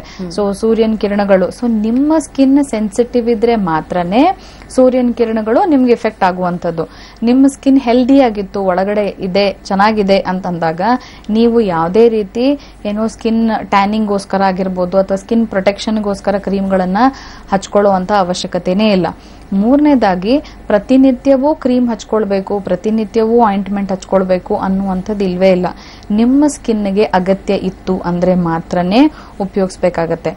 ಇನ್ನು ಸ್ಕಿನ್ ತುಂಬಾ ಡ್ರೈ ಆಗ್ತಿತ್ತು, ಮುಖ ತೊಳೆದು ಕೂಡ್ಲೇನೆ ಡ್ರೈ ಆಗ್ತಿತ್ತು ಅನ್ನೋರು ಬರೀ ಆಯಿಲ್ ಉಪಯೋಗಿಸಿದ್ರೆ ಬೇಕಾದಷ್ಟಾಯ್ತು. ಪ್ರತಿದಿನ ರಾತ್ರಿ ಮಲಗುವಾಗ ಆಗಿರ್ಬೋದು ಅಥವಾ ಬೆಳಗ್ಗೆ ಎದ್ದು ಕೂಡ್ಲಾಗಿರ್ಬೋದು ಒಂದು ಎರಡು ಹನಿ ಕೊಬ್ಬರಿ ಎಣ್ಣೆ ಅಥವಾ ಆಲಿವ್ ಆಯಿಲ್ ಆಗಿರ್ಬೋದು, ಮುಖಕ್ಕೆ ಹಚ್ಕೊಂಡು ಒಂದು ಐದು ಹತ್ತು ನಿಮಿಷ ಅರ್ಧ ಗಂಟೆ ಬಿಟ್ಟು ಮುಖ ತೊಡಿದ್ರೆ ಆಟೋಮೆಟಿಕ್ ಆಗಿ ನಿಮ್ ಸ್ಕಿನ್ ಡ್ರೈನೆಸ್ ಕಡಿಮೆ ಆಗುತ್ತೆ. ಸೊ ಈ ಆಯಿಂಟ್ಮೆಂಟ್ ಆಗಿರ್ಬೋದು ಕ್ರೀಮ್ಗಳಾಗಿರ್ಬೋದು ಲೋಷನ್ಗಳಾಗಿರ್ಬೋದು ಏನಕ್ಕೆ ಬೇಡ ಅಂತ ಹೇಳ್ತೀವಿ ಎಲ್ಲರಿಗೂ ಅಂತಂದ್ರೆ ಎಲ್ ಪ್ರತಿಯೊಬ್ಬರ ಸ್ಕಿನ್ನು ಬೇರೆ ಬೇರೆ ಇರ್ತಾ ಹೋಗುತ್ತೆ. ಕೆಲವೊಬ್ಬರ ಸ್ಕಿನ್ಗೆ ಖಂಡಿತವಾಗ್ಲೂ ಅವಶ್ಯಕತೆ ಇರುತ್ತೆ. ಇನ್ನು ಕೆಲವೊಬ್ಬರಿಗೆ ಅವಶ್ಯಕತೆನೇ ಇರಲ್ಲ. ಯಾರೋ ಹಚ್ಕೊಳ್ತಾರೆ ಅಂತ ಇವ್ರುಗಳನ್ನು ಅದನ್ನ ಉಪಯೋಗಿಸ್ತಾ ಇರ್ತಾರೆ. ಬಟ್ ಇವ್ರ ಸ್ಕಿನ್ಗೆ ಏನಾಗುತ್ತೆ? ಹೆಲ್ದಿ ಆಗಿರೋದ್ರಿಂದ ನಾರ್ಮಲ್ ಸ್ಕಿನ್ ಇರೋದ್ರಿಂದ ಈ ಕೆಮಿಕಲ್ಸ್ ಈ ಏನ್ ನೀವು ಆಯಿಂಟ್ಮೆಂಟ್ ನೋಡ್ತೀರಾ? ಕ್ರೀಮ್ಗಳಾಗಿರ್ಬೋದು ಲೋಷನ್ ಆಗಿರ್ಬೋದು ಅದ್ರಲ್ಲಿ ಸಾಕಷ್ಟು ಕೆಮಿಕಲ್ಸ್ ಇರುತ್ತೆ. ನೀವು ಅದ್ರ ಹಿಂದ್ಗಡೆ ಕಾಂಪೋಸಿಷನ್ ನೋಡಿದ್ರಿ ಅಂತಂದ್ರೆ ಸುಮಾರು ಕಾಂಪೋಸಿಷನ್ ಇರುವಂತದ್ದು ಇರುತ್ತೆ. ಆ ಕೆಮಿಕಲ್ಸ್ ಏನ್ ಮಾಡತ್ತೆ? ನಿಮ್ಮ ಸ್ಕಿನ್ ಒಳಗಡೆ ಇರುವಂತಹ ನಾರ್ಮಲ್ ಸೆಲ್ಸ್ ಅನ್ನ ಡ್ಯಾಮೇಜ್ ಮಾಡ್ತಾ ಹೋಗುತ್ತೆ. ಸೊ ಹಾಗಾಗಿ ನಿಮ್ಗೆ ಆಯಿಂಟ್ಮೆಂಟ್ ಅವಶ್ಯಕತೆ ಇದೆಯೋ ಇಲ್ವೋ, ನಿಮಗೆ ನಾರ್ಮಲ್ ಆಗಿರುವಂತಹ ಫೇಸ್ ಕ್ರೀಮ್ ಆಗಿರ್ಬೋದು ಬಾಡಿ ಲೋಷನ್ ಆಗಿರ್ಬೋದು, ಅಥವಾ ಆಯಿಂಟ್ಮೆಂಟ್ಗಳಾಗಿರ್ಬೋದು ಅವಶ್ಯಕತೆ ನಿಮ್ಮ ಚರ್ಮಕ್ಕಿತ್ತು ಅಂದರೆ ಮಾತ್ರನೇ ನೀವು ವೈದ್ಯರನ್ನ ಭೇಟಿ ಮಾಡಿದ್ರೆ ಖಂಡಿತವಾಗ್ಲೂ ತಿಳಿಸ್ತಾರೆ. ಅಂಥವ್ರು ಮಾತ್ರ ಉಪಯೋಗಿಸಿ. ಪ್ರತಿಯೊಬ್ಬರು ಉಪಯೋಗಿಸಿದಾಗ ಏನಾಗುತ್ತೆ? ನಿಮ್ಮ ನಾರ್ಮಲ್ ಸೆಲ್ಸ್ಗಳೇನೆ ಡ್ಯಾಮೇಜ್ ಆಗ್ತಾ ಹೋಗುತ್ತೆ. ಹಾಗಾಗಿ ಇತ್ತೀಚಿನ ದಿನಗಳಲ್ಲಿ ನಾವು ನೋಡ್ಬೋದು ಸ್ಕಿನ್ ಟ್ಯಾನಿಂಗ್ ಅತಿ ಹೆಚ್ಚಾಗಿ ನೋಡ್ತಿದ್ದೀವಿ ಮುಂಚೆ ಈಗ ಒಂದು ಐದಾರು ವರ್ಷದ ಹಿಂದೆ ನಾವು ನೋಡಿದ್ರೆ ಇಷ್ಟು ಅಲರ್ಜಿ ಸಮಸ್ಯೆಗಳು ಚರ್ಮದಲ್ಲಿ ನಾವು ನೋಡ್ತಾ ಇರಲಿಲ್ಲ. ಸೋರಿಯಸ್ ಸಮಸ್ಯೆನೂ ಇಷ್ಟು ಕಾಮನ್ ಆಗಿ ನೋಡ್ತಿರ್ಲಿಲ್ಲ. ವಿಟಿಲಿಗೋನು ನೋಡ್ತಿರ್ಲಿಲ್ಲ. ಇಸುಬು ಡರ್ಮಟೈಟಿಸ್ ಕೂಡ ನೋಡ್ತಿರ್ಲಿಲ್ಲ. ಇತ್ತೀಚೆಗೆ ತುಂಬಾ ಜಾಸ್ತಿ ಆಗಿರೋದು ಕಾರಣ ಇದೊಂದೇನೆ. ಮ್ಯಾಮ್ ಈಗ ತುಂಬಾ ಜನರಿಗೆ ಈಗ ಒಂದು ಹೇಳೋದಾದ್ರೆ, ಈಗ ಹೆಣ್ಣು ಮಕ್ಕಳಿಗೆ ಫೇಸ್ ಅನ್ನೋದು ಈಗ ಕಲರ್ ಕಡಿಮೆ ಇದ್ದಾಗ ಗ್ಲೋನೆಸ್ ಬೇಕು ಅನ್ನೋದಕ್ಕೋಸ್ಕರ ಕೆಲವೊಂದು ಸ್ಕ್ರಬ್ ಯೂಸ್ ಪದೇ ಪದೇ ಸ್ಕ್ರಬ್ ಆಗಿರ್ಬೋದು ಸ್ಟೀಮ್ ಆಗಿರ್ಬೋದು ಮಸಾಜ್ ಕೊಡೋ ಅಂಥದ್ದು, ಅಥವಾ ಫೇರ್ನೆಸ್ಗೋಸ್ಕರ ಕೆಲವೊಂದು ಕ್ರೀಮ್ಸ್ಗಳನ್ನ ನೈಟ್ ಆಗಿರ್ಬೋದು ಮಾರ್ನಿಂಗ್ ಆಗಿರ್ಬೋದು ಅಪ್ಲೈ ಮಾಡ್ತಾರೆ. ಸೊ ಇದರಿಂದ ಗ್ಲೋನೆಸ್ ಬರುತ್ತೋ ಬಿಡುತ್ತೋ ದಟ್ ಇಸ್ ಸೆಕೆಂಡ್ರಿ ಸ್ಕಿನ್ಗೆ ಏನಾದರೂ ಪ್ರಾಬ್ಲಮ್ ಆಗುವಂತಹ ಚಾನ್ಸಸ್ ಇದೆಯಾ? ಖಂಡಿತವಾಗ್ಲೂ ಆಗುತ್ತೆ. ನಾನು ಆಗಲೇ ಅದಕ್ಕೆ ಹೇಳ್ತಿದ್ದೆ. ಯಾವುದೇ ಒಬ್ಬ ವ್ಯಕ್ತಿ, ಯಾವುದೇ ಒಂದು ಆಯಿಂಟ್ಮೆಂಟ್ ಆಗಿರ್ಬೋದು, ಅಥವಾ ಸ್ಕ್ರಬ್ಬೇ ಆಗಿರ್ಬೋದು, ಅಥವಾ ಲೋಷನ್ನೇ ಬಳಸಬೇಕು, ಅಥವಾ ಫೇಸ್ ವಾಶೇ ಬಳಸಬೇಕು ಅಂದರೆ, ನೀವೇ ಯಾರೋ ನಿಮ್ಮ ಫ್ರೆಂಡ್ ಆಗಿರ್ಬೋದು, ಅಥವಾ ನಿಮ್ಮ ತಂದೆ ತಾಯಿ ಆಗಿರ್ಬೋದು, ಅದನ್ನು ಉಪಯೋಗಿಸ್ತಿದ್ದಾರೆ ಅಂದ ಕೂಡಲೇ ನೀವು ದಯವಿಟ್ಟು ಉಪಯೋಗಿಸೋಕೆ ಹೋಗಬೇಡಿ. ಯಾಕಂದರೆ ಪ್ರತಿಯೊಬ್ಬರ ಚರ್ಮನೂ ಬೇರೆ ರೀತಿನೇ ಇರುತ್ತೆ. ಸೊ ಅವರ ದೇಹದಲ್ಲಿರುವಂತಹ ಬಿಳಿ ರಕ್ತ ಕಣಗಳಾಗಿರ್ಬೋದು, ರಕ್ತ ಸಂಚಾರ ಆಗಿರ್ಬೋದು, ಎಲ್ಲವೂ ಬೇರೆ ಇರೋದ್ರಿಂದ ಎಲ್ಲರಿಗೂ ಒಂದೇ ಒಂದು ಆಯಿಂಟ್ಮೆಂಟ್ ಎಲ್ಲರಿಗೂ ಒಂದೇ ಒಂದು ಲೋಷನ್ ಖಂಡಿತವಾಗ್ಲೂ ಸೂಟ್ ಆಗಲ್ಲ. ಇನ್ನು ನೀವು ಕೇಳ್ತಾ ಇದ್ರಿ ಸ್ಕ್ರಬ್ ಅಂತ ಹೇಳ್ತಾ ಇದ್ರಿ. ಸೊ ಸ್ಕ್ರಬ್ ಯಾವಾಗ ಯೂಸ್ ಮಾಡಬೇಕು? ಅದು ಕೂಡ ಇಂಪಾರ್ಟೆಂಟ್ ಇರುತ್ತೆ. ಪ್ರತಿಯೊಬ್ಬರು ಸ್ಕ್ರಬ್ ಯೂಸ್ ಮಾಡುವಂಥದ್ದು, ಅಥವಾ ಪ್ರತಿಯೊಬ್ಬರು ಫೇಶಿಯಲ್ ಪದೇ ಪದೇ ಮಾಡಿಸುವಂಥದ್ದು, ಅಥವಾ ಸ್ವಲ್ಪ ಗೋಧಿ ಬಣ್ಣ ಇದ್ರು ಅಂದ್ರೆ ಅದನ್ನು ಪೂರ್ತಿ ಬೆಳ್ಳಗ್ ಮಾಡಬೇಕು ಅಂತ ಅತಿ ಹೆಚ್ಚಾಗಿ ಫೇರ್ನೆಸ್ ಕ್ರೀಮ್ಗಳನ್ನ ಉಪಯೋಗಿಸುವಂಥದ್ದು, ಖಂಡಿತವಾಗ್ಲೂ ಈ ತಪ್ಪುಗಳನ್ನ ಮಾಡಕ್ ಹೋಗ್ಬೇಡಿ. ಯಾಕಂದ್ರೆ ಇದು ಎಲ್ಲೋ ಒಂದ್ ಕಡೆ ನಿಮ್ಮ ಚರ್ಮದ ಒಳಗಡೆ ಇರುವಂತಹ ಸಣ್ಣ ಸಣ್ಣ ಕಣಗಳಿರುತ್ತೆ ಮೆಲೆನೋಸೈಡ್ಸ್ ಅಂತ ಹೇಳ್ತೀವಿ ಬಿಳಿ ರಕ್ತ ಕಣಗಳು ಅಂತ ಹೇಳ್ತೀವಿ. ಇವುಗಳನ್ನ ಡ್ಯಾಮೇಜ್ ಮಾಡಿದ್ರು ಅಂದ್ರೆ ಆಗನೇ ಈ ವಿಟಿಲಿಗೋ ಅಥವಾ ತೊನ್ನು ಬರುವಂತ ಸಾಧ್ಯತೆಗಳು ಹೆಚ್ಚಾಗಿ ನೋಡ್ತೀವಿ. ಮ್ಯಾಮ್ ಒಬ್ರು ಕಾಲರ್ ಇದ್ದಾರೆ ಮಾತನ್ನ ಮುಂದುವರಿಸೋಣ. ಹಲೋ ಹಲೋ ನಮಸ್ತೆ ಮೇಡಮ್ ನಮಸ್ತೆ ಮಾ ತಮ್ಮ ಹೆಸರು? ಗಿರಿಜಾ ಅಂತ ಹೇಳಿ ಡಾಕ್ಟರ್ ಇದ್ದಾರೆ ಡಾಕ್ಟರ್ ಇದ್ದಾರೆ ಪ್ರಶ್ನೆಯನ್ನ ತಿಳಿಸಿ ಮಾ. ಹಲೋ ನಮಸ್ತೆ ಡಾಕ್ಟರ್ ನಮಸ್ತೆ ಅಮ್ಮ ಹೇಳಿ ಅಮ್ಮ ಡಾಕ್ಟರ್ ನಂಗೆ ಫಿಫ್ಟಿ ನೈನ್ ಇಯರ್ಸ್ ಓಕೆ ನಂಗೆ ಮೆನೋಪಾಸ್ ಆದ್ಮೇಲೆ ಕಾಲಲ್ಲಿ ಫುಲ್ಲು ಹಂಗಾಲು ಕ್ರ್ಯಾಕ್ ಬಿಡಕ್ ಶುರು ಓಕೆ. ಮತ್ತೆ ನಾನು ಹಾಲೋಪತಿ ಎಲ್ಲ ತುಂಬಾ ತಗೊಂಡೆ. ಏನು ಕ್ಯೂರ್ ಆಗ್ಲಾ ಓಕೆ. ಮತ್ತೆ ಟೂ ಇಯರ್ಸ್ ಇಂದ ಆಯುರ್ವೇದಿಕ್ ತಗೊಳ್ತಾ ಇದ್ದೆ. ಒಂದ್ ಫಿಫ್ಟಿ ಪರ್ಸೆಂಟ್ ಗುಣ ಆಗೋ ತರ ಕಾಣಿಸ್ತು. ಓಕೆ. ಮತ್ತೆ ಸರಿ ಹೋಗೋದು ಮತ್ತೆ ರಿಪೀಟ್ ಕಾಣಿಸ್ಕೊಳ್ಳೋದು. ಬಟ್ ಯಾವಾಗೂ ಮೆಡಿಸಿನ್ಸ್ ತಗೊಳ್ಳೇಬೇಕಾಗಿತ್ತು. ಓಕೆ. ಕ್ರ್ಯಾಕ್ಸ್ ಅಂದ್ರೆ ಕ್ರ್ಯಾಕ್ಸ್ ಅಂದ್ರೆ ಏನಾಗ್ತಾ ಇದೆ? ಅಂದ್ರೆ ಬ್ಲಡ್ ಏನಾದ್ರೂ ಬರುತ್ತಾ? ನೋವು ತುಂಬಾ ಇರತ್ತಾ? ನವೆ ಆಗುತ್ತಾ? ಇದೆಲ್ಲ ಆಯುರ್ವೇದಿಕ್ ತಗೊಂಡ್ಮೇಲೆ ನನಗೆ ನವೆ ಎಲ್ಲ ಕಡಿಮೆ ಆಯ್ತು. ಫಸ್ಟ್ ನೀರ್ ಹಾಕೊಂಡು ಸಹ ಆಸಿಡ್ ಹಾಕೊಂಡಾಗಿರೋದು. ಅಲೋ ಆಯುರ್ವೇದಿಕ್ ತಗೊಳಕ್ಕಿಂತ ಮುಂಚೆ. ನೀರ್ ಕಾಲ್ ಮೇಲೆ ನೀರ್ ಹಾಕೊಂಡ್ರೆ ಆಸಿಡ್ ಹಾಕೊಳ್ಳೋ ತರ ಇರೋದು. ಆಮೇಲೆ ಆಯುರ್ವೇದಿಕ್ ತಗೊಂಡ್ಮೇಲೆ ಬಟ್ ಇಚಿಂಗು ಮತ್ತೆ ನೀರೆಲ್ಲ ಹಾಕೋಬಹುದಾಗಿತ್ತು ಬಟ್ ಕ್ಯೂರ್ ಆಯ್ತು. ಮತ್ತೆ ರಿಪೀಟ್ ಮತ್ತೆ ಈಗ ಮೊನ್ನೆ ಕೆಮ್ಮು ಮತ್ತು ನೆಗಡಿ ಬಂತು. ಅದಕ್ಕೆ ಆಂಟಿಬಯೋಟಿಕ್ ತಗೊಂಡೆ ಹಾಲೋಪತಿ. ಫುಲ್ ಸ್ಕಿನ್ ಬಟ್ಟೆ ಸೌದೋಗುತ್ತಲ್ಲ ಮೇಡಮ್ ಆ ತರ ತಿನ್ನ ಸ್ಕಿನ್ ಹಾಕ್ಬಿಟ್ಟಿದೆ. ಹಂಗಾಲು ತುಂಬಾ ಉರಿ ಉರಿ ಉರಿ ಕ್ರ್ಯಾಕ್ ಬಿಟ್ಬಿಡತ್ತೆ. ಮತ್ತೆ ಕೈ ಸಹ ಕ್ರ್ಯಾಕ್ ಮತ್ತೆ ಅಲರ್ಜಿ ಏನು ವಿಮ್ಮು ಸಬೀನಾ ಸೋಪ್ ಪೌಡರ್ ಏನು ಮುಟ್ಟಲ್ಲ ನಾನು. ಮತ್ತೆ ಮುಟ್ಟಿದ್ರೆ ಏನಾಗತ್ತಮ್ಮ? ಎಲ್ಲ ಇದು ಒಂಥರ ಕ್ರ್ಯಾಕ್ ಆಗ್ಬಿಡತ್ತೆ ಕೈ. ಶುರುವಾಗತ್ತೆ. ಕಾಲ್ ಕಾಲಂತೂ ಹಂಗಾಲು ಎಲ್ಲ ಫುಲ್ ಕ್ರ್ಯಾಕ್ ಆಗಿದೆ ಮ್ಯಾಮ್ ಓಕೆ ನೋಡಿ ಇದು ಎರಡು ತರದ ಕಾಯಿಲೆಗಳಿರ್ಬೋದು. ನೋಡಿದ್ರೆ ಆಕ್ಚುಲಿ ಎಕ್ಸಾಕ್ಟ್ ಆಗಿ ನಂಗೆ ಗೊತ್ತಾಗುತ್ತೆ. ಒಂದು ಇದಕ್ಕೆ ನಾವು ಡರ್ಮಟೈಟಿಸ್ ಅಂತ ಹೇಳ್ತೀವಿ ಆಯ್ತಾ? ಸೊ ಇದು ಒಂದು ಕಾಯಿಲೆ ಆಗಿರ್ಬೋದು ಅಥವಾ ಎರಡನೇದಾಗಿ ಪ್ಲಾಂಟಾರ್ ಸೋರಿಯಸಸ್ ಅಂತ ಹೇಳ್ತೀವಿ. ಅಂದ್ರೆ ಅಂಗಾಲಲ್ಲಿ ಏನಾಗುತ್ತೆ ಈ ಕ್ರ್ಯಾಕ್ಸ್ಗಳು ಬಿಡು ಬರುವಂತದ್ದು ಸಾಕಷ್ಟು ಜನ ಏನ್ ಅನ್ಕೊಳ್ತಾರೆ ಇದು ಕಾಮನ್ ಆಗಿ ಎಕ್ಸೆಸ್ ಆಫ್ ಹೀಟ್ ಆಯ್ತು ಅಂದ್ರೆ ಬರಬಹುದು ಅಥವಾ ಕೆಲವೊಂದ್ಸತಿ ಏನಾಗುತ್ತೆ ನಾವು ನೀರಲ್ಲಿ ಅತಿ ಹೆಚ್ಚಾಗಿ ಓಡಾಡೋದ್ರಿಂದ ಬರುತ್ತೆ ಅನ್ಕೊಳ್ತಾರೆ. ಆದ್ರೆ ಏನು ಓಡಾಡಲ್ಲ? ಹಾ, ಇಲ್ಲ, ನಾನು ಹೇಳ್ತಾ ಇರೋದು ಸೊ ಯೂಶಲಿ ಏನಾಗುತ್ತೆ ಅಂದ್ರೆ ಈ ಕ್ರ್ಯಾಕ್ಸ್ ಗಳೇನಾದ್ರೂ ಕಾಣಿಸ್ಕೊಳ್ತಾ ಇತ್ತು ಅಂದ್ರೆ ಈ ಎರಡೂ ಕಾಯಿಲೆಗಳಲ್ಲೂ ಕಾಣಿಸ್ಕೊಳ್ಳುವಂಥದ್ದು. ಒಂದು ಡರ್ಮಟೈಟಿಸ್ ಅಥವಾ ಪ್ಲಾಂಟಾರ್ ಸೋರಿಯಾಸಿಸ್ ಅಂತ ಹೇಳ್ಬೋದು. ಸೊ ಈ ಎರಡೂ ಸ್ಕಿನ್ ಇನ್ಫೆಕ್ಷನ್ಸ್ ಅಲ್ಲಿ ಏನಾಗುತ್ತೆ ಅಂದ್ರೆ ಚರ್ಮದಲ್ಲಿ ಉರಿ ಬರುವಂಥದ್ದು, ನವೆ ಆಗುವಂಥದ್ದು ಕ್ರ್ಯಾಕ್ಸ್ಗಳು ಬಿಟ್ಕೊಳ್ಳುವಂಥದ್ದು ಬ್ಲಡ್ ಬರುವಂಥದ್ದು, ವಿಪರೀತ ನೋವಿರುವಂಥದ್ದು ಈ ಎಲ್ಲ ಆಗ್ತಾ ಇರುತ್ತೆ.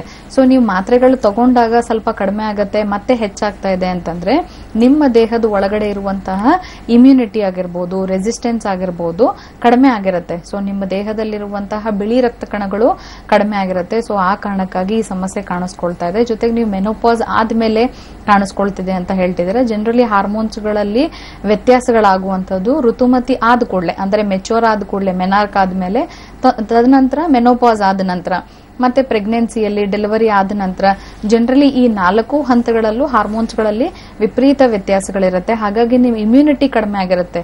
ಸೊ ಆ ಕಾರಣಕ್ಕಾಗಿ ನೀವು ಮಾತ್ರೆಗಳನ್ನು ಉಪಯೋಗಿಸಿದಾಗ ಒಂದು ಐವತ್ತು ಪರ್ಸೆಂಟ್ ಕಡಿಮೆ ಇರುತ್ತೆ, ಮತ್ತೆ ಹೆಚ್ಚಾಗಿ ಕಾಣಿಸ್ಕೊಳ್ತಾ ಇದೆ. ಸೊ ಖಂಡಿತವಾಗ್ಲೂ ನೀವೇನು ಔಷಧಿ ತಗೊಳ್ತಾ ಇದ್ದೀರಾ ಅದನ್ನ ಕಂಟಿನ್ಯೂ ಮಾಡಿ ಇನ್ನೊಂದು ಎರಡು ಮೂರು ತಿಂಗಳಿಗೆ. ಅದಾದ್ಮೇಲೂ ಕಾಣಿಸ್ಕೊಳ್ತಾ ಇತ್ತು ಅಂದ್ರೆ ಖಂಡಿತವಾಗ್ಲೂ ಬಂದು ನಮ್ಮನ್ನು ಭೇಟಿ ಮಾಡಬಹುದಮ್ಮ ಓಕೆ ಮಾ ಥ್ಯಾಂಕ್ಸ್ ಫಾರ್ ಕಾಲಿಂಗ್ ಡಾಕ್ಟರ್ ಹೇಳಿದ್ದನ್ನ ಕೇಳಿಸ್ಕೊಂಡ್ರಿ ಅಲ್ವಾ ಅಮ್ಮ ಇನ್ ಕೇಸ್ ನಿಮ್ಗೆ ಏನಾದ್ರೂ ಪ್ರಾಬ್ಲಮ್ ಹೆಚ್ಚಾಗ್ತಿದೆ ಅನ್ನೋದಾದ್ರೆ ನಿಗ್ಲೆಕ್ಟ್ ಮಾಡೋದಕ್ಕೆ ಹೋಗ್ಬೇಡಿ ಮಾ ನಮ್ಮ ಹೋಮಿಯೋಪತಿ ಶಾಖೆಗೆ ಆದಷ್ಟು ಬೇಗ ಭೇಟಿ ನೀಡುವಂತಹ ಪ್ರಯತ್ನವನ್ನ ಮಾಡಿ. ಮತ್ತೊಬ್ರು ಕಾಲರ್ ಇದ್ದಾರೆ. ಹಲೋ ಹಲೋ ನಮಸ್ಕಾರ. ಹಲೋ ನಮಸ್ತೆ ಮಾ ತಮ್ಮ ಹೆಸರು ತಿಳಿಸಿ ಟಿವಿ ನೋಡ್ಕೊಂಡು ಮಾತಾಡಬೇಡಿ ಮಾ ಟಿವಿ ವಾಲ್ಯೂಮ್ ಕಂಪ್ಲೀಟ್ಲಿ ಮ್ಯೂಟ್ ಮಾಡಿ ಮಾ. ಆ ಮಾಡಿದ್ದೀನಿ ಮೇಡಮ್ ಮಾಡಿದ್ದೀನಿ. ತಮ್ಮ ಹೆಸರು? ನನ್ನ ಹೆಸರು ಪ್ರೇಮ ಅಂತ ಮೇಡಮ್ ಪ್ರೇಮ ಅವರೇ ಪ್ರಶ್ನೆಯನ್ನ ತಿಳಿಸಿ ಡಾಕ್ಟರ್ ಇದ್ದಾರೆ. ಹಲೋ ನಮಸ್ತೆ ನಮಸ್ತೆ ಮೇಡಮ್ ನಮಸ್ತೆ ಅಮ್ಮ ಹೇಳಿ ಪ್ರೇಮ ಅವರೇ. ಆ ಮೇಡಮ್ ನನಗೆ ಮುಖದಲ್ಲಿ ಒಂಥರ ಯಾವ್ದಾದ್ರು ಕ್ರೀಮ್ ಚೇಂಜ್ ಆದ್ರೆ ಅದು ತುರಿಕೆ ಬರುತ್ತೆ ಮೇಡಮ್ ತುಂಬಾ ತುರಿಕೆ ಬರುತ್ತೆ. ಓಕೆ ಗುಳ್ಳೆಗಳೇನಾದ್ರೂ ಆಗುತ್ತಾ ಅಮ್ಮ ಗುಳ್ಳೆ ಆಗಲ್ಲ ಮೇಡಮ್. ಆ ಒಂಥರ ಅಲರ್ಜಿ ಟೈಪ್ ಮೇಡಮ್ ಅದು. ಏನಾಗತ್ತಮ್ಮ ಅಲರ್ಜಿ ಅಂದ್ರೆ? ಆ ಒಂಥರ ತುರ್ಕೆ ಒಂಥರ ಕೆರ್ಕೊಳ್ಳೋದೇ ಕೆರ್ಕೊಳ್ಳೋದು ಮೇಡಮ್ ಅದನ್ನೇ. ಆ, ಕೆರ್ದ್ಕೊಂಡ್ಮೇಲೆ ಏನಾಗತ್ತಮ್ಮ? ಆ ಸಣ್ಣ ಒಂಥರ ಫುಲ್ ಸಣ್ಣ ಅದು ಕಣ್ಣಿಗೆ ಕಾಣಿಸೋದಿಲ್ಲ ಮೇಡಮ್. ಅಷ್ಟು ಸಣ್ಣ ಗುಳ್ಳೆ ಅವು. ಹ್ಮ್ ಹ್ಮ್ ಹ್ಮ್ ಹ್ಮ್. ಓಕೆ ಈ ತರ ನಮ್ ಕಡೆ ಎಲ್ಲ ಬೆವರ್ ಸಾಲೆ ಅಂತ ಅಂತಾರಲ್ಲ ಮೇಡಮ್. ಹ್ಮ್ ಹ್ಮ್ ಹ್ಮ್ ಹ್ಮ್ ಹ್ಮ್. ಆ ಆ ತರ ಬರುತ್ತೆ ಮೇಡಮ್ ಮುಖದಲ್ಲಿ. ಓಕೆ ಸೊ ಇದು ಯಾವಾಗಿಂದ ಇರೋದಮ್ಮ ಪ್ರೇಮ ಅವರೇ? ಅದು ಒಂದ್ ಯಾವ್ದಾದ್ರು ಕ್ರೀಮ್ ಚೇಂಜ್ ಮಾಡಿದ್ರೆ ಮಾತ್ರ ಬರುತ್ತೆ ಮೇಡಮ್. ಅದನ್ನ ಡೈಲಿ ಹಚ್ಚಿದು ಹಚ್ಚಿದ್ರೆ ಏನಾಗಲ್ಲ. ಓಕೆ ಹಾ ಮೇಡಮ್. ನೋಡಿ ಪ್ರೇಮ ಅವರೇ ಇದಕ್ಕೆ ನಾವು ಕಾಂಟ್ಯಾಕ್ಟ್ ಡರ್ಮಟೈಟಿಸ್ ಅಂತ ಹೇಳ್ತೀವಿ.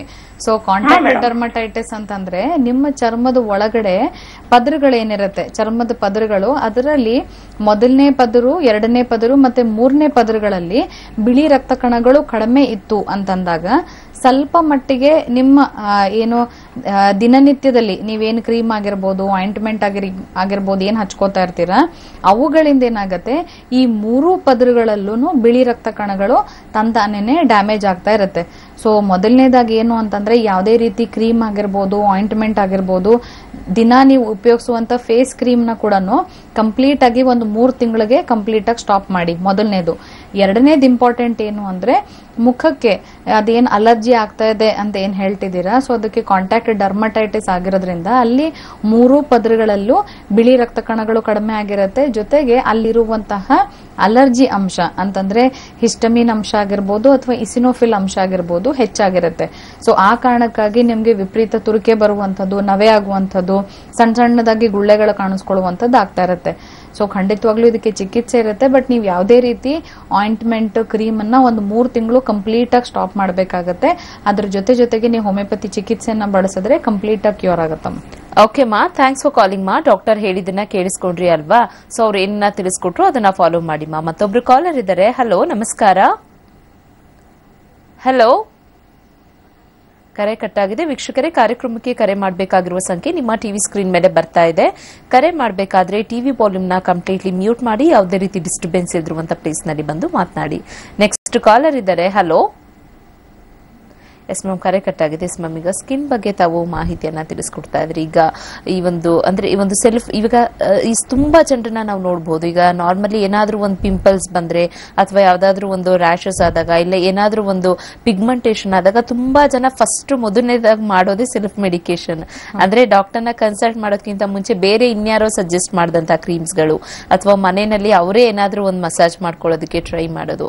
ಸೊ ಇದು ಇದು ಯಾವ ರೀತಿ ಇದು ಇದು ಅಂದ್ರೆ ಎಫೆಕ್ಟ್ ಆಗುತ್ತಾ ಇದು ಆ, ಖಂಡಿತವಾಗ್ಲೂ ಇಫೆಕ್ಟ್ ಆಗುತ್ತೆ. ಯಾಕಂದ್ರೆ ನಾನು ಅವಾಗಲೇ ಹೇಳ್ತಿದ್ದೆ ಮೇ ಸುಮಾರು ಜನ ಮೇಲ್ಗಡೆ ಚರ್ಮ ಕಾಣಿಸ್ಕೊಳ್ಳುವಂತ ಚೆನ್ನಾಗಿದ್ರೆ ಹೌದು. ಅಂತ ಸುಮಾರು ಜನ ಏಯ್ಟಿ ನೈಂಟಿ ಪರ್ಸೆಂಟ್ ನಮ್ಮ ಹತ್ರ ಪೇಷಂಟ್ಸ್ ಏನ್ ಸ್ಕಿನ್ ಪ್ರಾಬ್ಲಮ್ಸ್ ಬರ್ತಾರೆ. ಒಳಗಡೆ ಎಷ್ಟೇ ಕಾಯಿಲೆಗಳಿರಲಿ ಉದಾಹರಣೆಗೆ ಒಳಗಡೆ ಶುಗರ್ ಇರಲಿ ಅಥವಾ ಡಯಾಬಿಟೀಸ್ ಅಂತ ಏನ್ ಹೇಳ್ತೀವಿ ಮಧುಮೇಹ ಅದೇ ಆಗಿರ್ಬೋದು ಅಥವಾ ರಕ್ತದ ಒತ್ತಡನೇ ಆಗಿರಬಹುದು ಅಥವಾ ಸಾಕಷ್ಟು ಜನ ಏನ್ ಅನ್ಕೊಳ್ತಾರೆ ಅಂದ್ರೆ ಒಳಗಡೆ ಲಂಗ್ಸ್ ಪ್ರಾಬ್ಲಮ್ ಇರ್ಬೋದು ಇಂಟೆಸ್ಟೈನ್ ಆ ಒಳಗಡೆ ಸಮಸ್ಯೆಗಳು ಹೇಗಾದ್ರೂ ಇರಲಿ ಹೊರಗಡೆ ಚರ್ಮ ಒಂದು ಚೆನ್ನಾಗಿ ಕಾಣಿಸಿದ್ರೆ ಅದು ಬಹಳ ಇಂಪಾರ್ಟೆಂಟ್ ಅಂತ ಸಾಕಷ್ಟು ಜನ ಅನ್ಕೋತಾರೆ. ಸೊ ಖಂಡಿತವಾಗ್ಲೂ ಇಂಪಾರ್ಟೆಂಟ್ ಏನು ಅಂತಂದ್ರೆ, ಈ ಆರು ಪದರಗಳು, ಮೇಲ್ಗಡೆ ಕಾಣಿಸ್ಕೊಂತ ಪದರ ಜೊತೆ ಜೊತೆಗೆ ಈ ಆರೂ ಪದರಗಳಲ್ಲೂ ನೀವೇನೇ ಮನೆ ಔಷಧಿ ಆದ್ರೂ ಮಾಡಿ, ಯಾವುದೇ ಕ್ರೀಮ್ ಆಯಿಂಟ್ಮೆಂಟ್ ಹಾಕಿ, ಆ ಜಾಗದಲ್ಲಿ ಒಳಗಡೆ ಇರುವ ಆರು ಪದರಗಳಿಗೂ ಖಂಡಿತವಾಗ್ಲೂ ಅದ್ರದ್ದು ಇಫೆಕ್ಟ್ ತೋರಿಸೇ ತೋರಿಸುತ್ತೆ. ಎಸ್ ಮ್ಯಾಮ್, ಮತ್ತೊಬ್ರು ಕಾಲರ್ ಇದ್ದಾರೆ. ಹಲೋ ಹಲೋ ನಮಸ್ಕಾರ. ಸರ್ ಟಿವಿ ವಾಲ್ಯೂಮ್ ಕಡಿಮೆ ಮಾಡಿ ಮಾತನಾಡಬೇಕು ಸರ್. ತಮ್ಮ ಹೆಸರು ತಿಳಿಸಿ. ತಮ್ಮ ಹೆಸರು? Okay sir. ಡಾಕ್ಟರ್ ಇದ್ದಾರೆ ಪ್ರಶ್ನೆಯನ್ನ ಕೇಳಿ. ಹಲೋ. ಹಲೋ. ಹೇಳಿ. ಹಲೋ ನಮಸ್ಕಾರ ಮೇಡಮ್. ನಮಸ್ತೆ ಹೇಳಿ. ಹ್ಮ್. ಹಲೋ. ಹಲೋ. ಗಂಗಾವತಿಯಿಂದ ಮಾತಾಡ್ತಾರೆ ಮೇಡಮ್. ಹೇಳಿ ಹೇಳಿ ಏನ್ ಸಮಸ್ಯೆ ಇದೆ ಹೇಳಿ. ಸ್ಕಿನ್ ಇದು ಫೇಸ್ನಲ್ಲಿ ಫೇಸ್ ಬಹಳ ಮೊಡವೆಗಳು ಜಾಸ್ತಿ ಆಗಿ ಬಹಳ ಕಡೆ ಇಲ್ಲಿ ಗಂಗಾವತಿಯಲ್ಲಿ ತೋರಿಸ್ತೀವಿ ಬಹಳ ಡಾಕ್ಟರ್ ಕಡೆ ಕಡಿಮೆ ಆಗಿಲ್ಲ ಮೊಡವೆಗಳು ಹೋಗ್ತಾ ಇಲ್ಲ ಮತ್ತೆ ಮೊಡವೆಗಳು ಜಾಸ್ತಿ ಆಗಿದೆ ಮತ್ತೆ? ಮೊಡವೆ ಮೊಡವೆ ಅವು ಹೋಗ್ತಾ ಇಲ್ರಿ ಗು- ಗುಳಿ ಹೊಟ್ಟೆ ಹೋಗ್ತಾ ಇಲ್ಲ. ಎಷ್ಟು ಅಡ್ಮಿಟ್ ಟ್ಯಾಬ್ಲೆಟ್ ಎಲ್ಲ ಐತೆ ಎಲ್ಲ ಡಾಕ್ಟರ್ ಕಡೆ ಚರ್ಮ ಚರ್ಮ ಡಾಕ್ಟರ್ ಕಡೆ ಎಲ್ಲ ಕಡೆ ತೋರಿಸಿದ್ವಿ ಕಡಿಮೆ ಆಗ್ತಾ ಇಲ್ಲ ಎಲ್ಲಾಗಿದೆ ಮೊಡವೆಗಳು? ಮುಖದ ಮೇಲೆ ಮೇಲಾಗಿದೆ ನಿಮ್ ವಯಸ್ಸೆಷ್ಟು ಹಲೋ? ಹಲೋ ನಿಮ್ ವಯಸ್ಸೆಷ್ಟು ಸರ್ ನಿಮ್ಮ ವಯಸ್ಸೆಷ್ಟು ಅಂತ ಡಾಕ್ಟರ್ ಕೇಳ್ತಾ ಇದ್ದಾರೆ. Twenty five.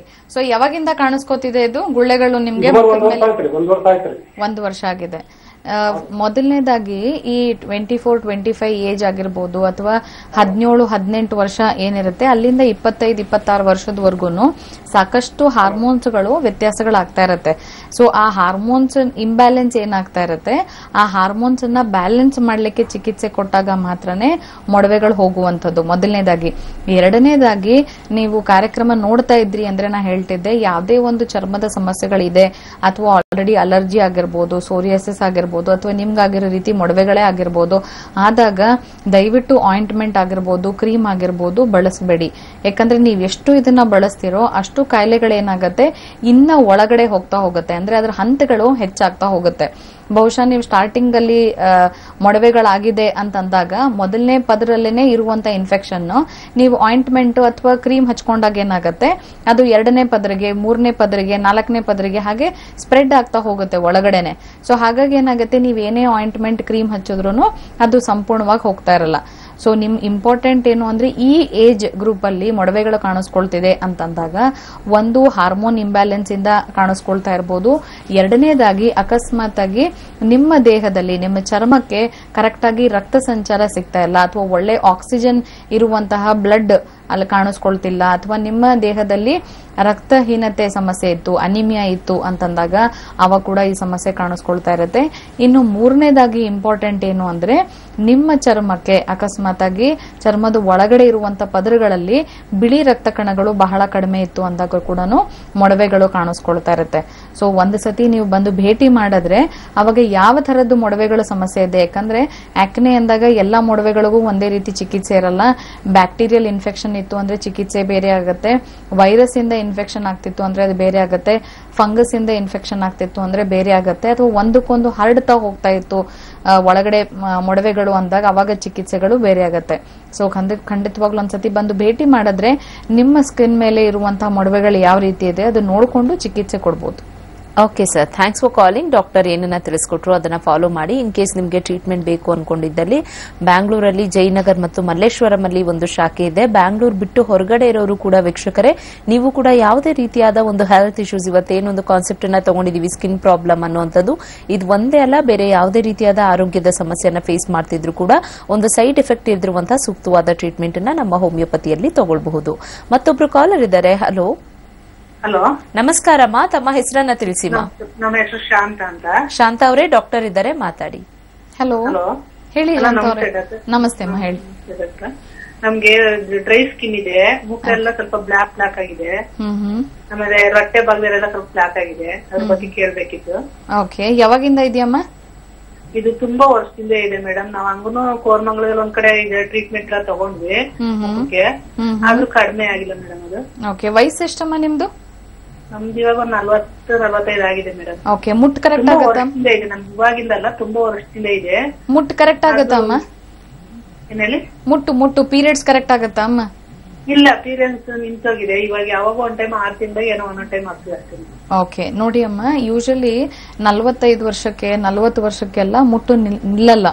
ಅರ್ಥ ಆಯ್ತಾ? ಐವತ್ತು, ಐವತ್ತೈದು ವರ್ಷದ್ದು ಆ ವಯಸ್ಸಲ್ಲಿ ಮುಟ್ಟು ನಿಂತ್ಕೊಂಡ್ರೆ ಮಾತ್ರನೇ ಅದು ನಾರ್ಮಲ್ ಅಂತ ಹೇಳ್ಬೋದು.